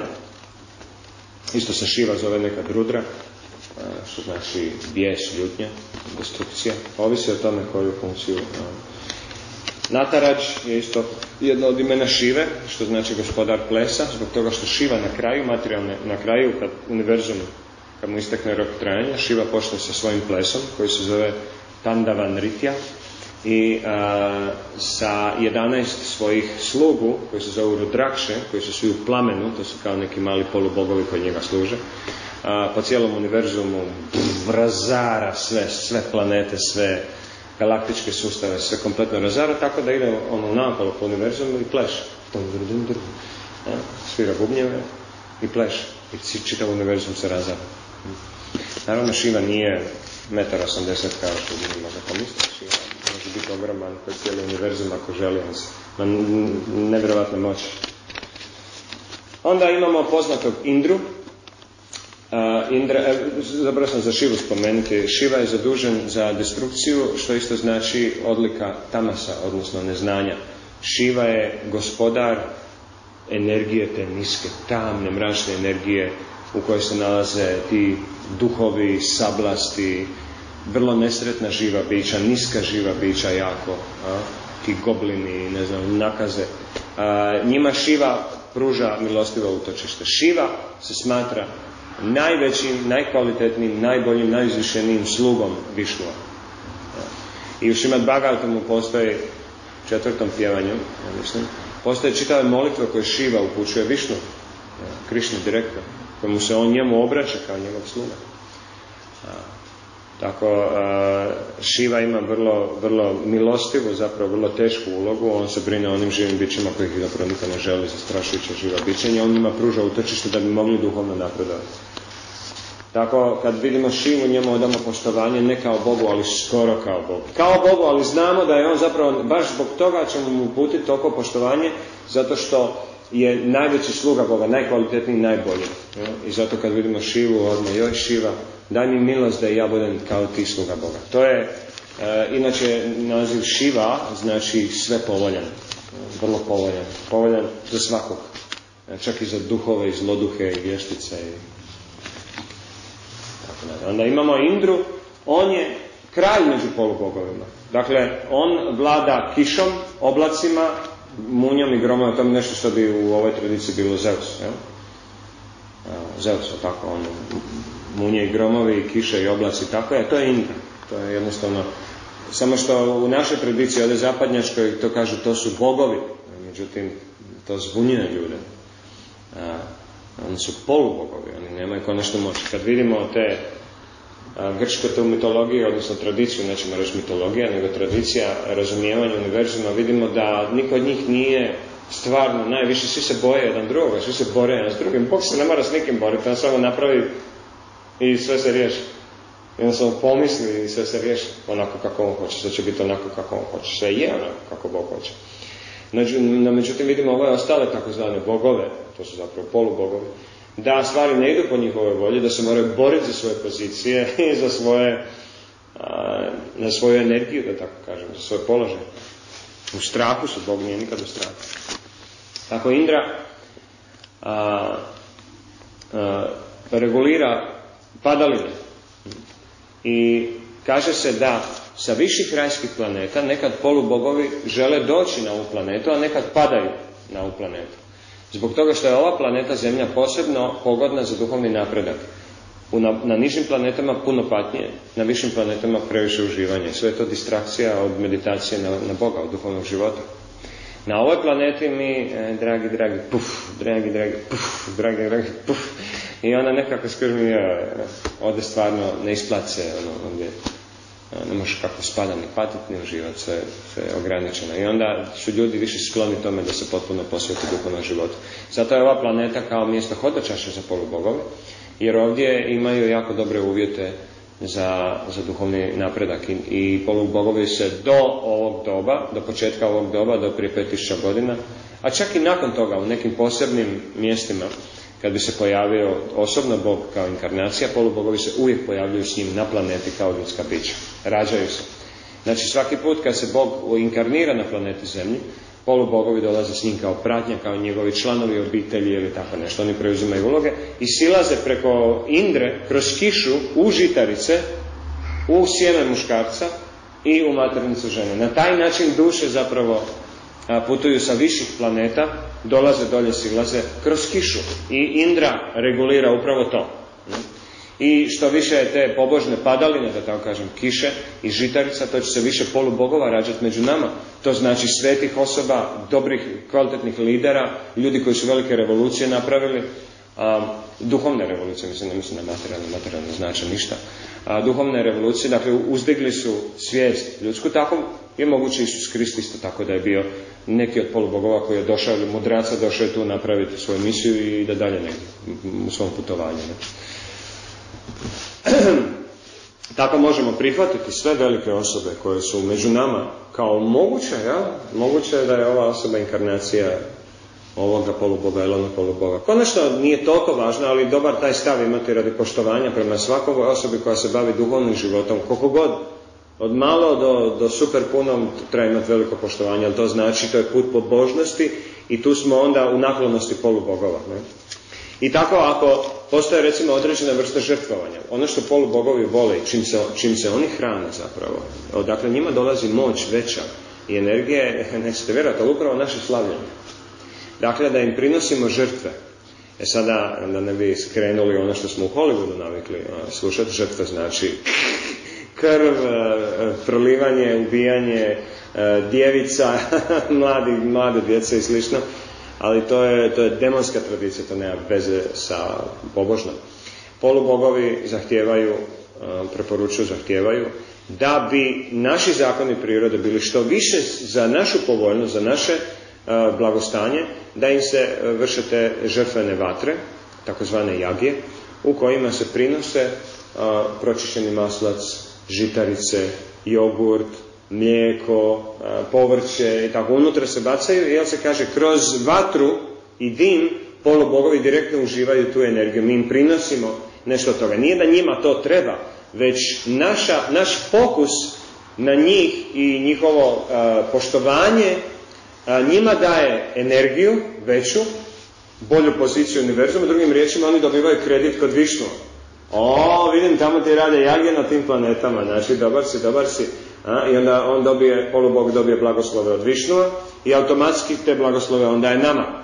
Kako? Tako da ljudi koji rade ta e, žrtvovanje su oslobođeni pa, nepotrebnih patnji u materijalnom svijetu, imaju dovoljno hrane, dovoljno vode, dovoljno novaca, dovoljno prave partnere i zato ćemo šivinu ženu tražiti žene će uglavnom se moliti šivi na ženi, parvati, umi. Molim te, daj mi dobrog muža. Ali dobrog muža. to je to, ne samo nekog zgodnog frajera sa, sa parama, to ne znači dobar muž. Dobar muž znači onaj koji će me stvarno voljeti poštovati onako kako to Bog zapovjeda. A, s kojim ću vježbati odnos sa Bogom, tako kažem, onda nam bude lijepo. Tako polubogove možemo moliti za razne blagoslove, oni su za to namijenjeni da daju i blagoslove, materijalne razne. I onda zato postoji u hinduizmu jeli, obožavanje raznih polubogova, zbog toga što su ljudi vrlo često i najviše zainteresirani da im oni ispune neke materijalne želje. A, Višnu to ne radi. Višnu ne ispunjava materijalne želje, Višnu ispunjava duhovne želje. Ali u konačnici, pošto je Višnu izvor svih polubogova, on konačno ispunjava. Ne može ni Indra odlučiti da nam da neki blagoslov, recimo kišu, ako, ako Krišna, odnosno Višnu, kaže ne. S tim da to Višnu ne radi. On pušta polubogovima da rade svoje dužnosti. Kad počnu kršiti, onda ih dođe upozoriti ili pošalje e, nešto da ih opameti i tako. Drži njih ono, u liniji. A, Indra je njegov nositelj, njegova prevozno sredstvo je slon, a, a, kako se zove, Miruda. A, I onda on ima na Indra Loki, njegova je planeta baš kraljevstvo prava, jer je on kralj polubogova. On je, e, da tako kažemo, menadžer, jel? E, njemu dolaze polubogovi kao kralju da mu se obrate i onda svi skupa donose odluke šta će, kako će se protiv demona boriti ili koji će ustroj univerzumu ili što rade krivo ili tako, kako unaprijediti svoju službu. Ništa posebno. To je jednostavno univerzalni, odnosno kosmički menadžment. Samo na višem nivou, kao što recimo menadžeri najvećih banaka na svijetu. Oni žive životom koji mi ne možemo ni zamisliti. Način na koji putuju privatnim džetovima i helikopterima, ogromnim limuzinama, sve blindirano, zaštićeno. Njima se dovozi hrana posebno koju oni naručuju iz tog dijela svijeta i tako uzgojena. Oni, oni, oni imaju te moće, oni žive, to se možemo zamisliti, ali takav život kontinuirano imati, to treba biti na toj poziciji. Treba znati živjeti uopće takav život i, i imati takav kapacitet. Ljudi koji imaju velike moći imaju kapacitet da žive vrlo moćno i da donose velike odluke, velike poteze, imaju veliku kontrolu, velike rezultate, naravno. I pozitivne i negativne, naravno. Um, e da, ovdje je, dakle, uh, Airavati, Airavata se zove njegov slon. Njegovo oružje je uh, grom, Ađr, uh, Vajra se zove i njegova žena je Indrani. On je Indra, ona je Indrani. Često tako znaju e, žene poluboga imati tu titulu isto, znači Indrani kao ministrica, jel bi se rekla, odnosno kraljica polubogova Indrani.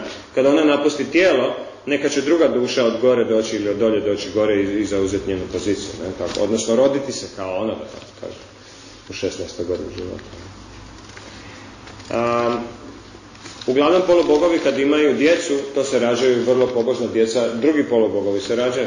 Tako, tako se rađa polubogovi, isto imaju seks, začnu i rade i to je sad nova duša koja je ušla u tijelo i obavlja tu funkciju. Onda imamo bog vatre, elementa vatre, Agni, i on se posebno obožava u većoj tradiciji.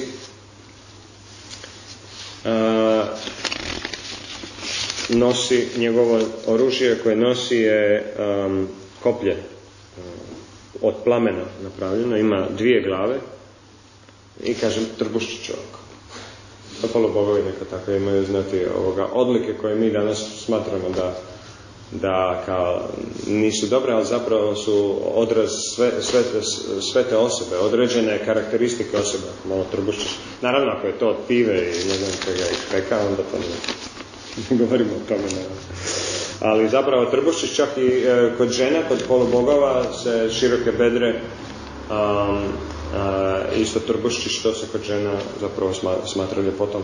Ne kod nas ono kosti, napuhane usne i slične stvari. To je malo drugčije u večkoj tradiciji. Onda imamo Vaju, on je polubog vjetra, kretanja zraka, a, jaše na jelenu, nosi bijelu zastavu, ima bijelu, bijelu put. Um, I njegov sin, jedan od njegovih sinova je polubog Hanuman, ste čuli za njega. Uh,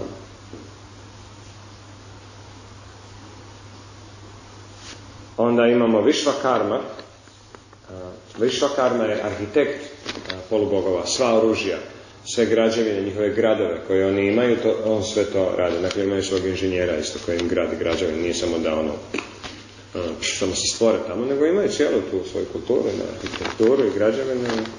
Demoni imaju svoga arhitekta, zove se Majaja, a imaju više karma polubogova. Majaja. Majaja. Molim? Majaja, da. Znači da imaju sveučilište, veleučilište. Imaju, da, da, i kako uči, učitelje svoje, to su ono... Crka vrtić. A? Nema, oni se rađaju već kao odrasle osobe, neće patiti kroz ovoga... vrtić, kažem, za djecu. Ne, nema, nema. Kod njih je malo drugčije. Ok, onda imamo Jamarađ, isto jedan od moćnih i jako važnih polubogova, i još sa Y, Jamara, Y, Amaraj, Amaraj, Jamaraj. J se uvijek čita Đ, a Y se uvijek čita J. Jamarađ je polubog smrti, evo dolazimo do toga, ono što kažemo, ko nam sudi kad umremo i te kako i to osoba. I kaže se Jamarađ je kada dođe pred njega pobožna osoba koja umre, napusti tijelo, Jamarađ izgleda kao višnu za takvu osobu. Predivan i privlačan i ono, prosvjetljujući. No međutim za griješnu osobu Jamarađ, dakle ovako je, ako smo jako grešni, na, kao u onom filmu sa Patrikom Švejzom duh, izvlači nas iz tijela na silu, izvlače nas sluge Jamarađa, Jamadute, koji izgleda zastrašujuće, baš kod demončine najveće, kod baš ono iz pakla.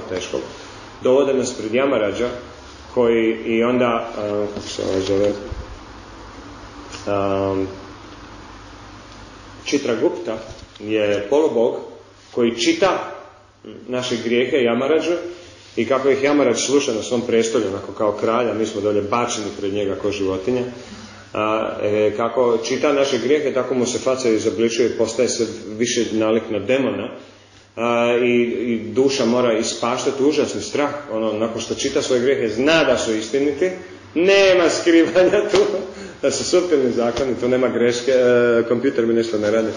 Ovaj, a e, Jamaraš postaje sve grozniji i grozniji i, i, tu duša jedna ispašta užasno, užasan strah i na kraju u toj zadnjoj metastazi ovoga užasnog izgleda Jamarač izriče kaznu duši.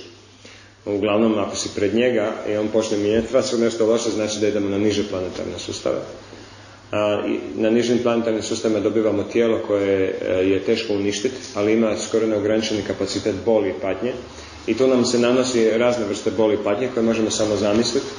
Ja sam bio istraumatiziran kad sam čitao taj dio vetskih spisaka, opis paklenih planeta, naravno ima opis i rajskih planeta. Opis paklenih planeta, još to u filmu nismo doživjeli takvu brutalnost i toliko neograničenu moguću, ono, neograničene vrste ispaštanja. A, I tu se duša priprema zapravo, nakon toliko patnje rađa se kao životinja ili nekim se u, na planeti Zemlji polako onda mijenja tijelo više, više, više dok ne dođe do ljudskog oblika života. I tu je onda prekretnica, hoće li ići gore, od direktno duhovni svijet, na više rajske planete, ostati među ljudima ili ići ponovno dolje u životinski pakleni planet. Um, tako Jamarađ, eto, tome služi. Jama rađa, kralj smrti. Onda Čandra, polubog Čandra, uh, on je polubog mjeseca. Dakle, i na, na, na planeti mjesec uh, se radi taj soma rasa. Hm. Tamo kod Čandra dolaze svi da bi nabavili a, piće. um, uh, on je predstavljen kao, um, kao osoba, čovjek sa um, tamno, tamno put, onako kao bakreno, bakreno put. Uh, jaše na koči sa tri točka koju vuku antilope. To je tako predstavljeno. Na, naravno ne odnosi se na naše antilope, nego to su naravno antilope polubogova. E, tako je, no, obično ima dvije ruke, predstavlja se tako, jedna drži topuz, a druga daje blagoslove. Razni polubogova, uglavnom imate topuze, pa neka oružja, luk, strijela, E, konop recimo cvijeće, onda ispržena ruka ovako, kad to vidite u veskoj tradiciji, to znači daje blagoslove, vrlo povoljno. Ne? Kada je onako neki strašan oblik nekog poluboga, znači da je ljut, da, je, ono, da izražava, da ga je teže zadovoljiti u takvoj formi, da tako kažem. Onda imamo kuvera, kuvera je polubog, koji je bankar svih polubogova on čuva njihovo, on je rizničar, on čuva njihovo blago. Ja? To mi samo oponašamo ovdje ono što postoji na višem nivou. To je sve, mislim, ne možemo izmisliti nešto što ne postoji. Ono što nam je dano, mi ćemo to koristiti na dobar ili na loš način, mi ne možemo ništa bolje izmisliti, to je tako sam Bog odredio. A, onda imamo Varuna, gospodar a, mora i obično je predstavljen kao e, dakle, e, svjetle puti e, i jaše na velikoj monstruoznoj ribi koja se zove makara, znači ribetina neka onako zastrašujuća za nas, koja ima glavu i noge kao antilopa, od antilope. Eto, sad vidimo svijet polubogova, znači tamo ima mikseva tih, ono, interspecies, znači među vrstama ima tih mikseva. To je normalno, to nije nešto što mi samo izmišljamo o našim fantazijama, knjigama i filmovima. To postoji stvarno. I mi smo to sve gledali, mi smo svjedočili tome životima. I zato kad dođemo na ovu planetu, nas fleševi neki iz prošlog života, sanjamo nešto i onda mislimo, koji ja maštu imam. Ne, nemaš maštu, imaš samo sjećanje, to je sve. Stvari mašta su samo a, rekonstruirano sjećanje.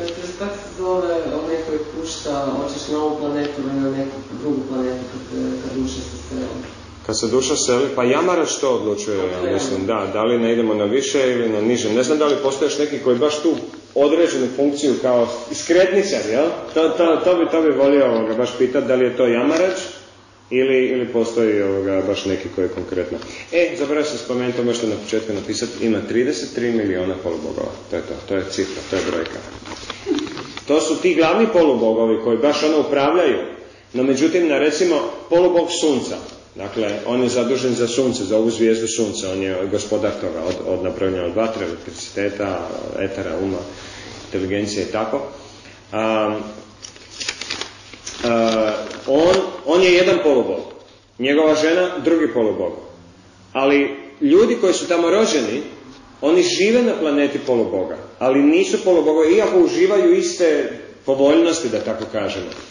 Ono, dugotrajan život, uživanje, sve to skupa, ali neće oni upravljati, to. Ne mogu oni upravljati sada sa tim, sa, sa univerzalnim kosmičkim spivanjima, nego to radi samo on, to je toliko moćan. A oni tamo jednostavno uživaju povoljnosti, su bili pobožni u prošlom životu. Tako mi možemo se roditi, nećemo se roditi tako lako kao Surija, e, polubog sunca, to možete zapisati, isto Surija, on se obožava jako puno Surija, zato imamo pozdrav suncu, Surija namaskar, uh, to su jogičke vježbe, pozdrav suncu. Ne? I tu se ne misli samo na zvijezdu sunce, misli se zapravo na osobu sunce. I večka tradicija je vrlo personalna ona za svaku planetu, za svaki zakon ima zapravo božanstvo koje je za to zaduženo, koje se može manifestirati među nama. Iz rijeke neke može izaći boginja te rijeke, ima ona svoje tijelo, naravno, koje može manifestirati pred nama i može nas se pokazati. Ja kontroliram ovu rijeku. Ja sam boginja koja čija je svjesnost u ovoj čitavoj rijeci i svi njenim tokovima i tako dalje. Mm. Maruna, Dakle, on, on, on je baš u moru, on je kao e, Poseidon, jel? Onda imamo Kamadeva, naš najslađi polubog, Kamadeva. On je zadužen za požudu i e, kontrolira stimulaciju fizičkih osjetila, odnosno privlačnosti fizičkih, posebno seksualnih. A, kaže se da je rođen iz srca Brame, znači direktno sin Brame, iz njegovog srca. A, njegov glavni suradnik je polubog proljeća Vasanta. I stalno su u pratnji Apsara, Kandarva i Kinara. Se neko sjeća ko je to? Da, da, plesačice rajskih planeta. se kaže da su toliko lijepe, toliko predivne da nijedno, nijedno živo biće, muškarac ili na ovoj planeti ne bi preživio takav pogled. Jednostavno bi izgubili odmah razum i umrli, zapravo bi napustili tijelo toliko intenzivno da bi mi napustili tijelo od njihove ljepote i privlačnosti. To je toka ljepota i privlačnost da ne bi htjeli niti disati jednu sekundu više na ovoj planeti. Ne bi htjeli biti ovdje nisaki. Kada, kada bi se polubog samo malo pojavio pred nama, nam bi svi ostali živa bića bila dosadna, ružna, neprivlačna, odbojna. To je to, zato, ja, zato, zato kažem, zato se oni ne pojavljuju u ovom dobu. Ja?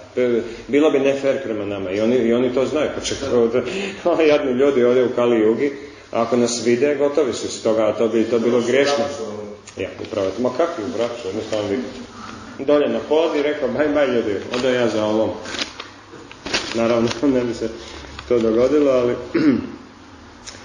a, e, e, Kamadeva je prikazan kao mladoliki polubog sa zelenom ili crvenom puti, pun ukrasa i cvijeća, naoružan je sa lukom od šećerne trske, one koja je napeta sa konopom od pčelinjeg meda i sa strijelama na, na, na čijim su vrhovima cvjetova. to je naš, kak se zove, Kamadeva je kupit, da, to je to, to je taj ne. I on stvarno sa strijelom dođe i stup, i onda mi i jednostavno smo zablejani u neku osobu Znači on po karmi, kad nama karma kaže ti se sad zaljubiti u ovog monstruma. Hm? I on će ti uništiti cijeli život. To ti je karma. I on se pogodi, i onda dođe kamaden. Tunk, i onda dođe svoje funkcije, onda će i mi ono, kako je divan, kako je krasna, ono, psihopata neki ili, ili ona luda osoba, ali mi ćemo se zaljubiti, nema frke kad nas kamadena pogodi, ako nam je to karma, mi ćemo se zaljubiti. Zašto sam se ja morao zaljubiti tu ženu, ja, ja stvarno ne znam. Zato što ti je bila karma i došla kamadena i nemaš ti tu šta onda po tom pitanju govoriti. Zato se kaže, ljubav je nelogična. Da, ljubav je obična, karmička reakcija, to je sve. To nije stvarni osjećaj koji mi kreiramo u svijetu. Mi jedino možemo kreirati, odnosno kontrolirati našu ljubav prema Bogu, prema drugim živim bićima, a ako nismo pobožni, će nas jednostavno voditi karma. Ako nismo u sustavu transcendencije, gdje smo sa Bogom i gdje Bog kontrolira našu karmu, onda polubogovi nas vode kroz ovaj svijet, daju nam toplo, hladno, bogatstvo, siromaštvo, a, e, dobro potomstvo, loše potomstvo, bez potomstva, a, dug život, kratak život, sve to, sve oni kontroliraju. U svakom momentu njih 33 miliona upravlja, upravlja našim svijetom. Način na koji nam se misli slažu, način na koji nam probava funkcionira, način na koji eritrociti se pomiču, neki polubog je zadužen za to, za taj zakon. Te, sve te kemijske, biološke zakone, sve polubogovi. Ona moderna medicina što radi, zapravo radi velike uvrede polubogovima. Način na koji secira ljudsko tijelo i proučava, to tako ne radi. Zakoni već tu postoje budalo, pa ne moraš ih ići gledati kroz mikroskop i proučavati ih 200 godina sa hrpom onog pogrešaka i onog pokušaja. Sve je već objašnjeno kako, kako funkcionira. Ne? Bezbožna civilizacija, o tome ćemo pričati drugi put, upravo ide to, ne, ne, ne, ne, ne, ne, ne, mi ćemo sami skužiti. Ali to je sve. Ne, to je odvišno, to nas ne zanima. To je Bog, to nas ne zanima. Mi hoćemo sami, mi ćemo pokazati da smo superiorni Bogu, to je ta poanta. Kama Deva, i to je to, to su ono neki osnovni polubogovi, Indra, Chandra, Vaju, Varuna, Agni, Surja, a, njihove žene Šiva, evo, Višnu, Lakšmi, Brama, Sarasvati, molim? Ganeša, da, nismo. To su a, polubogovi koji su nastali seksualnim kontaktom glavnih polubogova, oni su kao sinovi polubogova i imaju neke e, druge funkcije. Da tako kažem, manje, ali ne manje važne. Ne toliko ono, o, jel, kao šiva, uništavanje, brama, stvaranje, a, nisu po tome manje važni, naravno, oni su svi vrlo napredne duše i svi gledamo jednakim očima u tom smislu, veliko poštovanje i respekt, ali da ne napravimo tu uvredu i prema njima i prema Višnu da mislimo da su oni Bog i da od njih sve tražimo da ignoriramo Boga. Kad odajemo poštovanje nekom polubogu, uvijek mu odajemo poštovanje njemu kao slugi Boga. Oni nikad neće biti uvriježeni na to. Da oni će biti počačeni s tim. Hvala, hvala. On najviše vole da im se tako obraćamo, da ih, da ih i mi sami posjećamo da su oni sluge Boga kao što smo i mi isto to. To nije niko, nikome uvreda reći, ti si samo sluga Boga. Uf. Da bar jesam ono, pravi sluga Boga, nek sam ja loš sluga Boga, ne? Sam sluga svog ega. A, Ganeša ima oblik e, slona, a, slonovsku glavu, ljudsko tijelo i njegov stalni pratitelj je niko drugi nego jedan mali, mali pacov, zapravo štakor. Ne miš, nego štakor. To je ono zašto danas se slonovi boje. Da, štakor, to je taj jedan poseban odnos koji je tako manifestiran u svijetu na suprotan našem. Um, I njegova, njegova glavna je dužnost da uklanja poteškoće na materijalnom ili duhovnom putu, ali on posebno voli uklanjati poteškoće na duhovnom putu. I stoga se ga nešto molimo, kad želimo nešto postići, na primjer, želimo služiti Boga ili druge ljude, pomagati ljudima, ali smo bolesni. I onda ćemo zamoliti ga Neša, molim te, makni ono što je prepreka na ovom duhovnom putu. Hm? I ako je to bolest, on će maknuti bolest. Ako je to neka osoba, maknit će neku osobu. A ako je to previše para na našem računu, maknit će previše para na našem računu. mm A ako je to zdravlje, maknit će nam zdravlje. To je ta pa. Mi se molimo za duhovni napredak i da makne prepreke, a ne znamo mi koje su prepreke naše. Ja.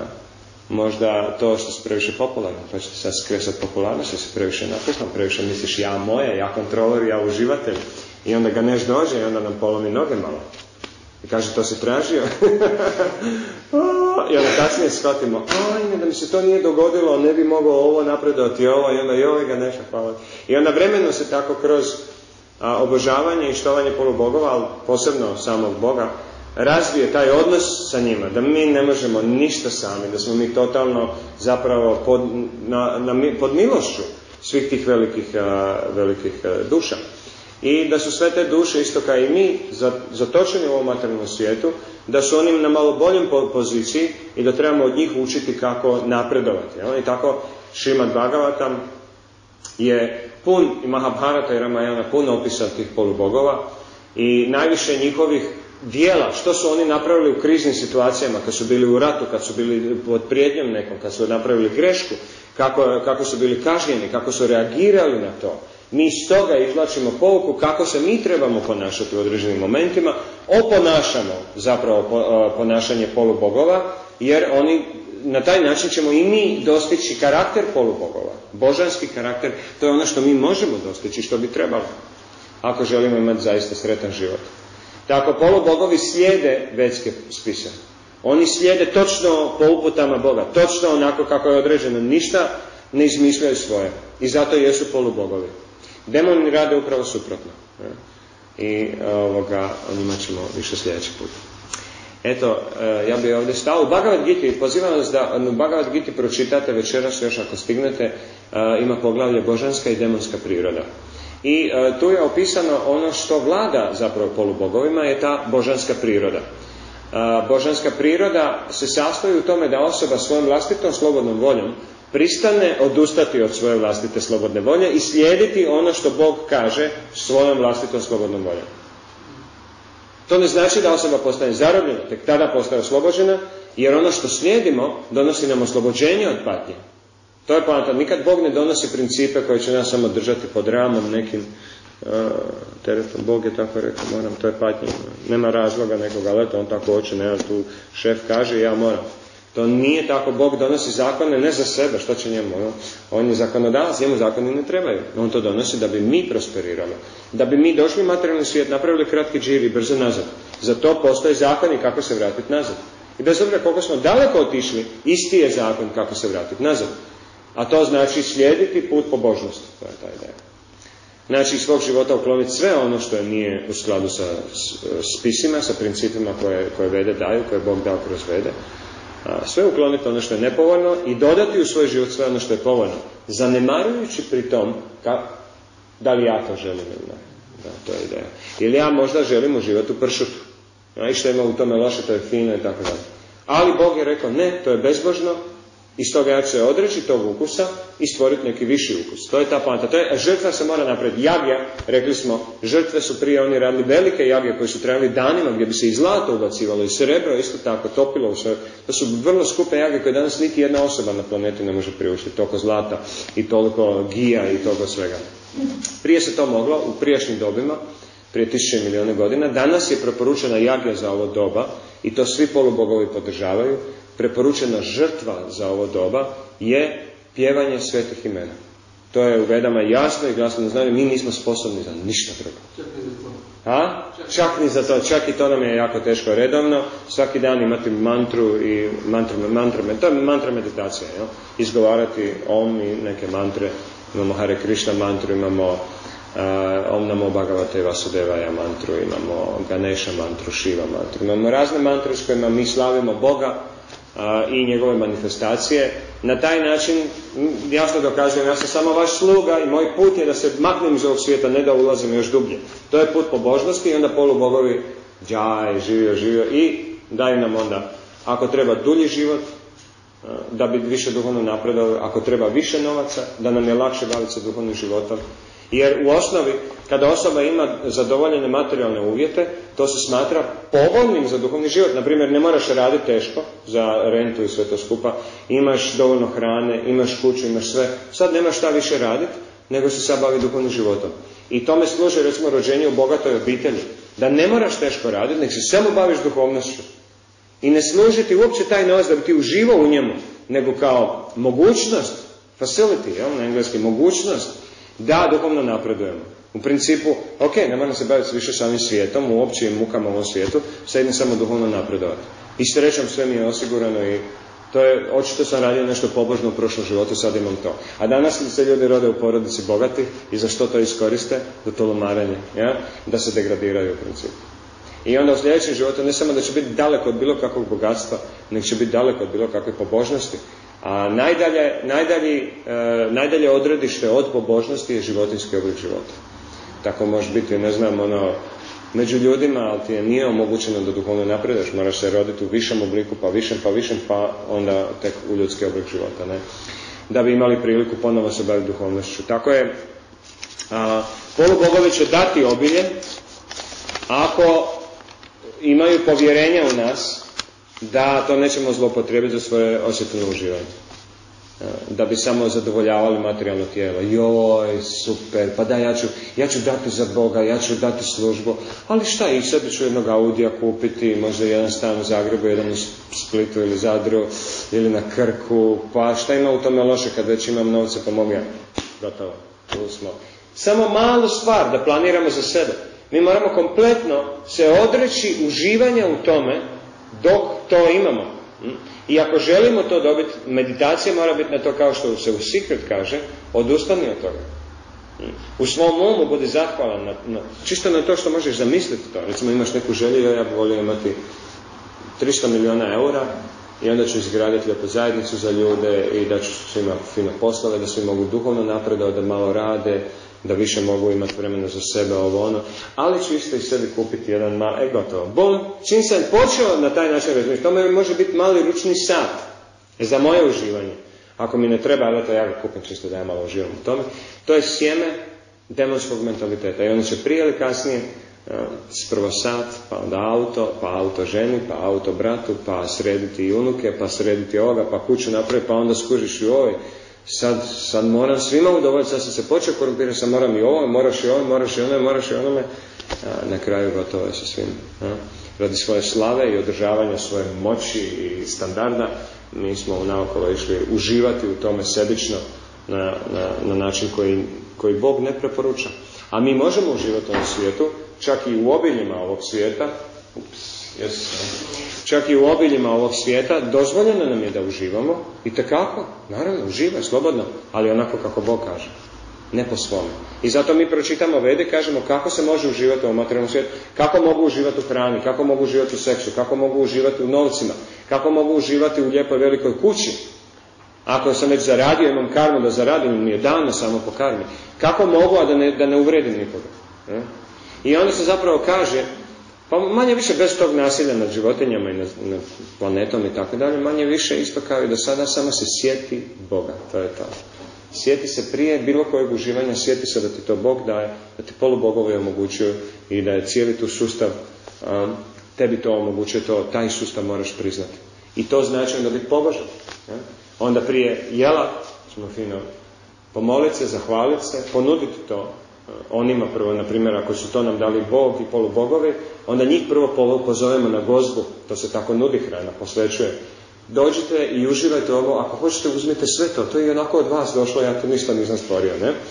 A, I onda su polubogovi i višno, dakle, svi skupa zadovoljni, ako s našim stavom, to je poanta, stav, da li je božanski ili demonski.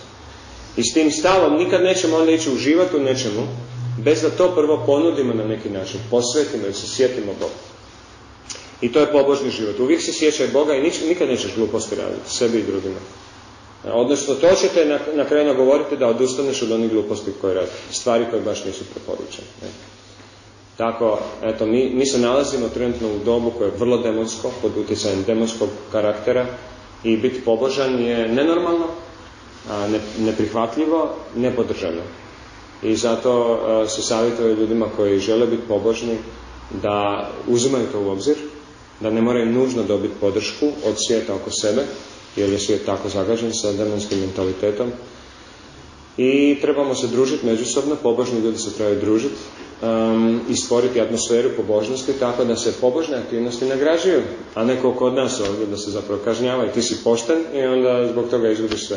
A da si nepošten i da kradeš, bio bi nagrađen sa materijalnim obiljem, privremeno. Tako je raditi u nekoj banci ili nekoj firmi i biti pošten znači biti izigran i znači konačno biti razočaran sa tom pobožnošću i odustati od toga. Što je ono najgora stvar kada se može dogoditi, da pomislimo da je biti pobožan da to nije dobro. Evo. A danas se to ohrabruje upravo biti bezbožan. Tako da se moramo držati u ovim grupicama, pokušati neke zajednice ovoga, ostvariti osnovati i živjeti pobožno i onda ćemo vidjeti, na, moj duhovni učitelj je rekao i vede to obećavaju, doslovno. Mi možemo imati zajednicu i on duhovnjaka, vedantista, na jednom dijelu Hrvatske, na jednoj maloj pokrajini i tu će vremenski uvijek biti savršeni za nas, a sukudu naokolo može biti katastrofa. Tako da se ne moramo bojati pol Boga šta je to njima, naprave jednu rupu samo u, u cikloni, ja? i mi ono, gledamo mrak sukud okolo, a nama fino sunce, grije zemlju, ne pada tuča nikakva, ono, tri dana. I, a ovo dovoljno materialistima, bezbožnim a, ljudima, da dva, tri dana samo tuča za redom pada. Gotovo, sa svim usijima, gotovo sa plastenicima i staklenicima, sve to se može da porazbijati, dignuti u zrak vjetrovima i tako. Polubogovi, njih dvoje, troje samo dođu. Gotovo, pola planete je u kaosu, ne? Tako da trebamo shvatiti da smo mi, smo mi minijaturno sitni i bespomoćni naspram sila o kojima ovisimo i, i ne priznati njihovu nadmoć i, i njihove, tražiti njihove blagoslove totalno arogantno. To je, to je konačna definicija arogancije. Unatoč kompletnoj ovisnosti ne priznati da smo ovisni, ne priznati kao priznajem, nego priznati više kao a, kao što se Hrvatska priznala u svijetu, više kao, aha, vidimo vas, e, prihvaćamo, jel? prihvaćamo to da ste neovisni, odnosno ako mi njima kažem, prihvaćam da sam ovisan o vama u potpunosti, da ste vi zapravo moj gospodar. Ja? Prihvaćam to. Ali al, to znači onda slijediti upute. Slijediti upute, jer ako kažemo, ja prihvaćam sve polubogove Boga Višna, da, da, sve to prihvaćam, ali radim po svome. To je još gore, to je licemjerno skroz. Tako to je naša dužnost da slijedimo kao što je dužnost polubogova da slijedimo i Višnu će onda svima dati sve što ga treba u ovom materijalnom svijetu i za materijalno uživanje koje je pobožno i za konačno oslobođenje od materije da se konačno vratimo u duhovni svijet. Eto, ima li pitanje? Samo ovo na početku Brahma, Brahman. Da, razliku. Brahma i Brahman. Brahman, odnosno Brahman, je neosobni, impersonalni aspekt Boga. Božjev sjaj, da tako kažem. To, se, to je njegova aura. bezlična, neosobna, to je energija koja prožima čitavu kreaciju. To je ono, kako bi rekao, Bog je sve, Bog je svjetlo, Bog je ljubav. To je Brahman. Sve prožimajući, neosoban, svjetlo, energija, da it, Um, a Brahma je on, polubog. To je polubog koji je obi, ono, obična duša, kao ti i ja. Ti si nekad bio Brahma, ja sam nekad bio Brahma. Ej, Brahma! Sve baš što ima, pao ti, ja, evo i pao i ja. Šta ništa, ajde da popijemo jednu u to ime. Kad ćemo natrag, o, gdje još ja imam da se degradišem još životima. Dalje, Mislim da oko ovoga bi se moglo stvarno... E, e, ja zapravo nisam ni najbolja osoba kvalificiran, dovoljno kvalificiran s ovim znanjem da bi mogao recimo pričate pričat. Znam neke, znam dosta priča, tu mogu cijelu noć, koliko se sjećam, ali tih priča predivnih ima koje inspiriraju jako pobožno djelovanje, koje pokazuju polubogove u vrlo velikom svjetlu, jako lijepom svjetlu, njihovo djelovanje, njihove riječi, njihovo ponašanje i tako dalje priče razne kako su upali u nevolje, kako su izvukli iz nevolja, kako je uvijek iza svakog proklestva bilo i neki blagoslov jel, koji im pomaže, tako da ono, na tome možemo naučiti kako u našem životu ono što vidimo kao negativno sada jako, da znamo da iza toga stoji skriveni blagoslov i ako se ponašamo pobožno, to će izaći van. Ako se ponašamo bezbožno, onda još gore, još gore. E, onda ta patnja samo nastavlja biti patnja. Bez ikakve rezolucije, nekakvog smisla. Eto. A jedini bogovi kao se su suci, ovi jedini bogovi tu... Ovdje, suci, upravo to. Upravo to, da. A viš koliko su kvalificirani. Oni bi zapravo trebali biti svete osobe. Suci u ovom materijalnom svijetu i predsjednici bi to bi svi trebali biti mudraci sa nevjerovatnim sposobnostima. Znaš, ono, duhovno, ljudi koji, koji ništa materijalno ne zanima, a imaju najveće materijalne moći, a totalno ih ne zanima, ništa. Tako je Platon brio sve vremena za državnik, bi trebali biti. Da, da, da. Neovisni skroz, da. Nikakve plaće ne bi trebali državnici primati. to je to, da u današnje doba prava demokracija možda bi nekako funkcionirala pod uvjetom da niti jedan političar ne dobije ni kune od platiša poreznih. Ne? Tako u Dubrovniku, ovaj, znači mjesec dana bio, znači, kako se slava, zaboravim Oni su mjesec dana službovali gradu bez ikakve naknade i to je bila apsolutno najveća čast. Najveća čast, da. Kako? Tužd, da, Dubrovački dužd. A, dužd, da, da, da. da. Službovao mjesec dana i to je bila apsolutno najveća čast. Znači oni su u to vrijeme sve radili da dođu na poziciju mjesec dana dužd gdje nije apsolutno... Ništa ne dobio, da, da. Da ima tu čast, da ima tu ugled u društvu, da je nesebično služio narod. Danas, oni to ne bi mogli, ono, Moram ja struju plati. Gorivo, ako će to plat, gorivo, dručkove sve, odjela. U slavenskoj mitologiji je Perun taj koji je gromom odozvao. U čijoj? Slavenska mitologija. Peru se zove. Peru se zove. Peru, jel? A on stoluje na vrdu i je iz gromom I pere po nama. Da, da. Ima dole, ima se zaboravio kako se dole božanstvo zove koje je kontra. A, kontra, da. Sve se stalno svađa. To, je, to, to je sve preneseno iz vetske, iz vetske tradicije. To, to, pa i, mislim, ono, meni su, ja sam u kršćanski odredno klinac, tamo to je, kad su gromovi, onda mi baka govorila Sveti Ilija, tera Sveti Ilija, da, da. Što je on sada, ono, da, polubog, šta će drugo biti? Nije sigurno neki običan čovjek, ono, koji se da mogao gromova, nego jasno se što se s nama zbiva kad dotaknemo grom, jel? Gotovo je, jel? To su očito polubogovi, tako da svaka tradicija to ima, ali skriveno kroz kao neke mitologije i babske priče, u stvari o, totalno reflektira ono što su vede govorili. I sveti su ono, I sveti su napredni, tako je. Nikad nećeš vidjeti, i onda je sveti Ilija žicao da mu se kupi Rolex, i limuzinu novu i onda, je, i onda ga se uhvatilo u preljubi sa ovom i onom. to je ono, uopće ne pomišljaš da bi takve osobe mogle imati takve afinitete. No? Tako bi to i trebalo biti. Oni koji imaju najveću moć moraju biti najviše zapravo zgađani s tom moći. Ono, od, odbijeni s tim. Ono, zato bi rizničar trebao biti neka osoba koja ono, uopće nije privučena s tim stvarima, nek to radi iz dužnosti, to je ono najbolje. Zato se kaže da su pobožni brakovi su oni u kojima e, osobe ne stupaju radi tjelesne privlačnosti, nego radi dužnosti prema Bogu, prema naciji, prema svojoj obitelji i tako dalje. Zato se dogovaraju brakovi. E, zato se brakovi dogovaraju koji će najbolje odgovarati fizički, mentalno i to da, da, da budu najbolji sluge da budu najbolji sluge svog društva, a ne samo da za sebe. E, ovi brakovi koje mi imamo danas su demonski brakovi prema vedama demonske brakove i zato, zato rađaju takve plodove. rasulo i psihotičnu djecu i psihotične roditelje i zastrašujuće stvari. Abortus i sve to skupa demonsko, ali ne, ono, da, da ne bi se mi sjećali da smo demoni, mi nismo demoni. Postoje polubogovi, postoje demoni, ali njih je jako malo. 33 miliona ovih, vjerojatno isto nešto ovih, a ovih neograničeni drugi broj su takozvani neutralni, odnosno nevina živa bića, to smo mi. Mi spadamo pod utjecaj ili, ili polubogova ili demona. U ovom dobu kojem živimo smo pod utjecajem demona, njihovi smo agenti u principu. Ne? Smatramo da, je, da su u redu stvari koje nisu u redu. I možemo privući djelovanje, naravno, polubogova, jer Tako je, tako je. Sve možemo promijeniti, sve možemo promijeniti, samo trebamo naučiti formulu kako se djeluje da bi privukli njihove blagoslove i oni nemaju kao, e, ti si do jučer radio ovo, sad, ne, ne, ne, kreneš na pravi put, dobiješ rezultat. Još nešto ako nešto padne na pamet, slobodno se obrati. Ako budete čitali Šimat Bhagavatam, pa, pa budete malo zbunjeni, to koji se ovaj, šta je ovaj, razna imena i tako. Budite malo strpljivi, to se, vremenom se sve razotkrije, priče su jako povezane i to, ali mogu vam ja isto odgovoriti na pitanje ili ako ga i ne znam, ja ću lakše doći do svoje mentore i učitelje koji ono, sve imaju ovdje u malom prstenu.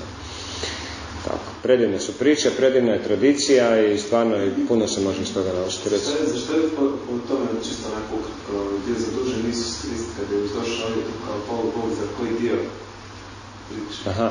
Pa ne, e, kad polubog dođe, kad se polubog inkarnira kao, ljudski, kao ljudsko biće, on preuzima sve sve kao ljudsko biće, znači bio je stolar. Tako kažu, jel? Ali zapravo bio je Mesija, odnosno glasnik Boga, odnosno propovjednik, to je sve, duhovni učitelj. A to je ono najviša pozicija koju može imati. Ja svaki polubog ima svog duhovnog učitelja. U Brami je to direktno višno. Ne? Ali svi ostali polubogovi imaju svoje duhovne učitelje koji su ono iznad njih po duhovnosti i svemu. Iako nemaju te pozicije, ali imaju poziciju, znaš, duhovni učitelj Indre, možda nije kralj polubogova, ali je duhovni učitelj Indre i Indra mora njega slušati. Što on kaže, to Indra mora raditi vrlo ponizno. Svaki od tih polubogova, kako god da su oni za, za nas, apsolutno kao Bog, su i tekako ponizni pred svojim učiteljima. Odmah na koljena, glavu dolje i drže glavu na podu pred njima dok god ih ne dignu milostivo sa rukama. Toliko moraju biti ponizni. Moraju se tome učiti, inače postaje jako napuhani. Počnu, po, po, počnu misliti da su oni kontrolori ove kreacije. To je jako lako kad se da ta moć u ruke. Nama se to dogodi da nam samo ono da postanemo šef e, dvoje, dvoje ljudi, već počnemo ono ping pong s njima igrat, ne?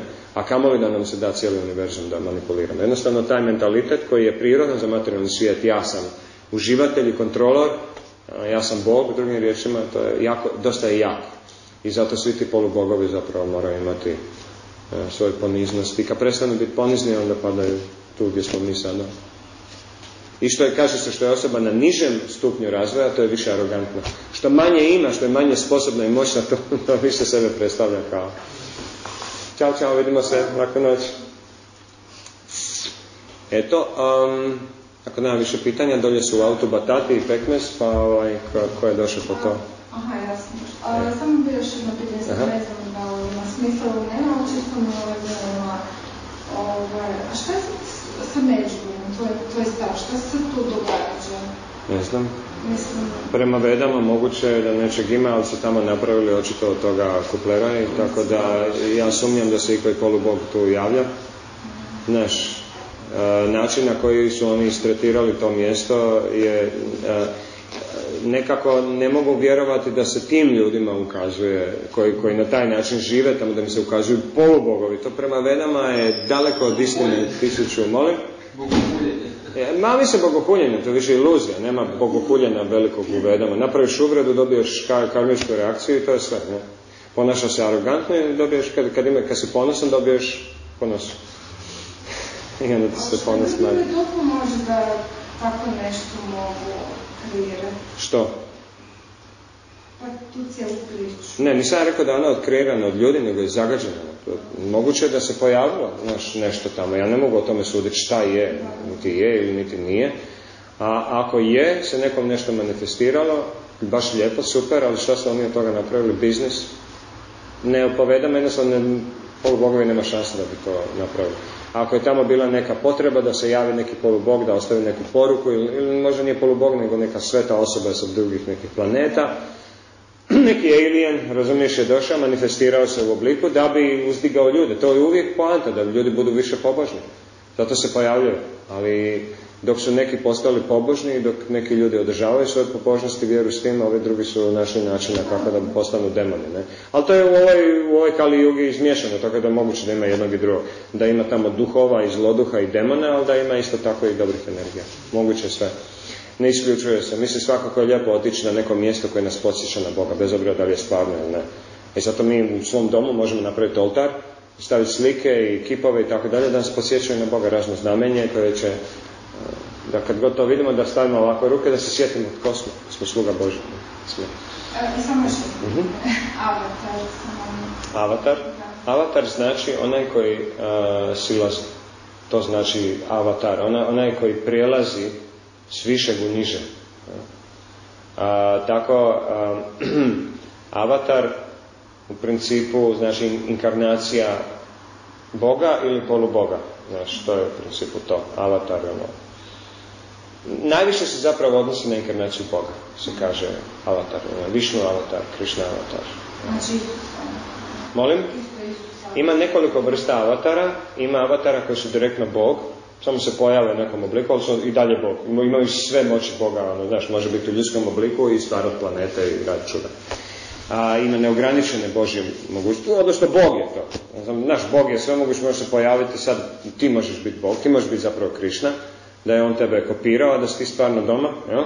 i da on sad igra tvoju ulogu da niko ne može skužiti savršeno ponaša, čisto da sad mi, da nas testira. To Bog može, ja ne znam da li je to tako. Ne?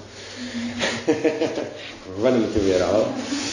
Um, no međutim, Postoji isto i druge vrste avatara, kao što je, na primjer, šaktja veša avatara. Mi smatramo, vede smatraju da je Isus bio šaktja veša avatara, odnosno duša, obična duša kao i mi, ali posebno opunomoćena od strane Boga da obavi neku misiju u ovom svijetu. I svi veliki učitelji koji su napravili velike, ogromne promjene, kao što je Prabhupada, Sai Baba, um, Maharishi, uh, Shishi Ravi Shankar i tako dalje, ima ih puno, posebno oni koji, koji su, znaš, tu se vidi kad je neko opunomoćen. Znaš, da od miliona ono, mesojeda i napola životinja, ljudi koji napola spavaju, nemaju pojma ko su i što su da, da, da napravi toki napredak, da ljudi toliko napreduju. Ne? To su posebno opunomoćene osobe i njima treba posebno poštovanje. Zapravo, sve te koji god su posebno opunomoćeni od Boga, jer su direktno Božja inkarnacija, jednako poštovanje im daješ. Jednako ko da je Bog. Ta taka ideja. Znači, mi znamo da nije Bog, ali opet ko zna. ali ako imamo poštovanje kao Bogu, ne, onda nikad nećemo pogriješiti. Ako idemo diskriminirati, tebi će manje poštovanje, tebi više, bom, odmah uvrede zapravo radimo. Nema diskriminacije na tom apsolutnom nivou.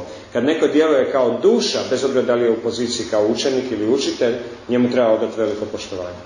Tako recimo ako vidiš nekog velikog učitelja u poštovanje, ali vidiš kod njega njegove učenike u isto poštovanje. Jer su oni isto tako veliki i slavni duhovno, jel? zato što pokušavaju ili stvarno slijede tog učitelja. Tako da je to ta jedna tradicija ljubavi i poštovanja. No? Priznanje. Šta kad se ne inicira, kad se ulozi nema inicijacije? Kada šta? Kad ulozi nema inicijacije, jer se onda prekida... Aha, da, onda se prekida, da, prekida se. Mora biti inicijacija, to, je, to su ti neki od pravila na koji način se prenosi a, duhovno znanje a, se prenosi od učitelja, živog učitelja na živog učenika i učitelj sa svojim ponašanjem i sa svojom energijom mora zapravo probuditi u učeniku tu uspavanu ljubav prema Bogu, dati mu znanje, dati mu praksu i onda učenik može imati. Što onda kad nije inicirano, znači da zapravo je prekinuto? Da, prekinuto je nasljeđe, e, no međutim inicijacija može biti i u srcu. Ne mora biti oficijalna inicijacija kraj neke žrtvene jage, neka oficijalna. E, inicijacija se opisuje isto tako da može biti tako da učenik prihvati učitelja, njegove instrukcije i, i čvrsto ih slijedi. To je inicijacija, valjda. Da li ono to znanje, znanje živo se smatra ili nije Onda kako svako može reći u srcu nije. Da, da, ne, mora, mora ga uživo da će imati kontakt s tim, inače svaka osoba, neko može sad reći da slijedi tvoj guru, a stvari krši sve principe, ali on sve su prihvati, ali sve krivo radi. Znači mora imati kontakt sa učeničkim nasljeđem, ne radi toga da bi učeničko nasljeđe zadržalo neku aristokratsku poziciju kao učeničko nasljeđe, nego zbog toga da osoba ne bi skrenula, da ne bi propovjedala krivo. nakon nekoliko generacija učenih krivih učenja to završi, zapravo se prekidalo za učenje će definitivno propasti. Osušiti, ta grana će se osušiti. Iako je možda jednim dijelom bila ok, super, ovo ono, počela se lagano degradirati, da tako kažem, i znanje se izgubi i onda konačno to više niko ne slijedi i tako dalje. I tako su najmoćnije one grane koje se nisu od početka nikad zapravo izgubile, uvijek su bili, barem neki učitelji. I onda imaš grana koje će nekad biti, odnosno učenja tih tradicija, takozvanih sampradaja koji će neko vrijeme biti moćni, najmoćniji u tom vremenskom periodu u tom području. I onda ostane samo nekoliko učitelja sitni koji to nekako uspiju u sljedeće doba prenijeti. I onda, znaš, i onda dođe do nas e, e, na taj način jel se može ponovno razviti u nešto široko e, tako da ne mora uvijek to biti ono mainstream što bi mi rekli, znaš da je ono naj najprakticiranija religija ili, ili učeničko nasljeđe, bitno je da je uvijek bilo zadržano makar jedan učenik, jedan učitelj, to je dovoljno. Ok, eto, hvala, kući spavati. Hvala vam na pažnji. Snimak je ovdje, sljedeći put nastavljamo dalje sa demončinama.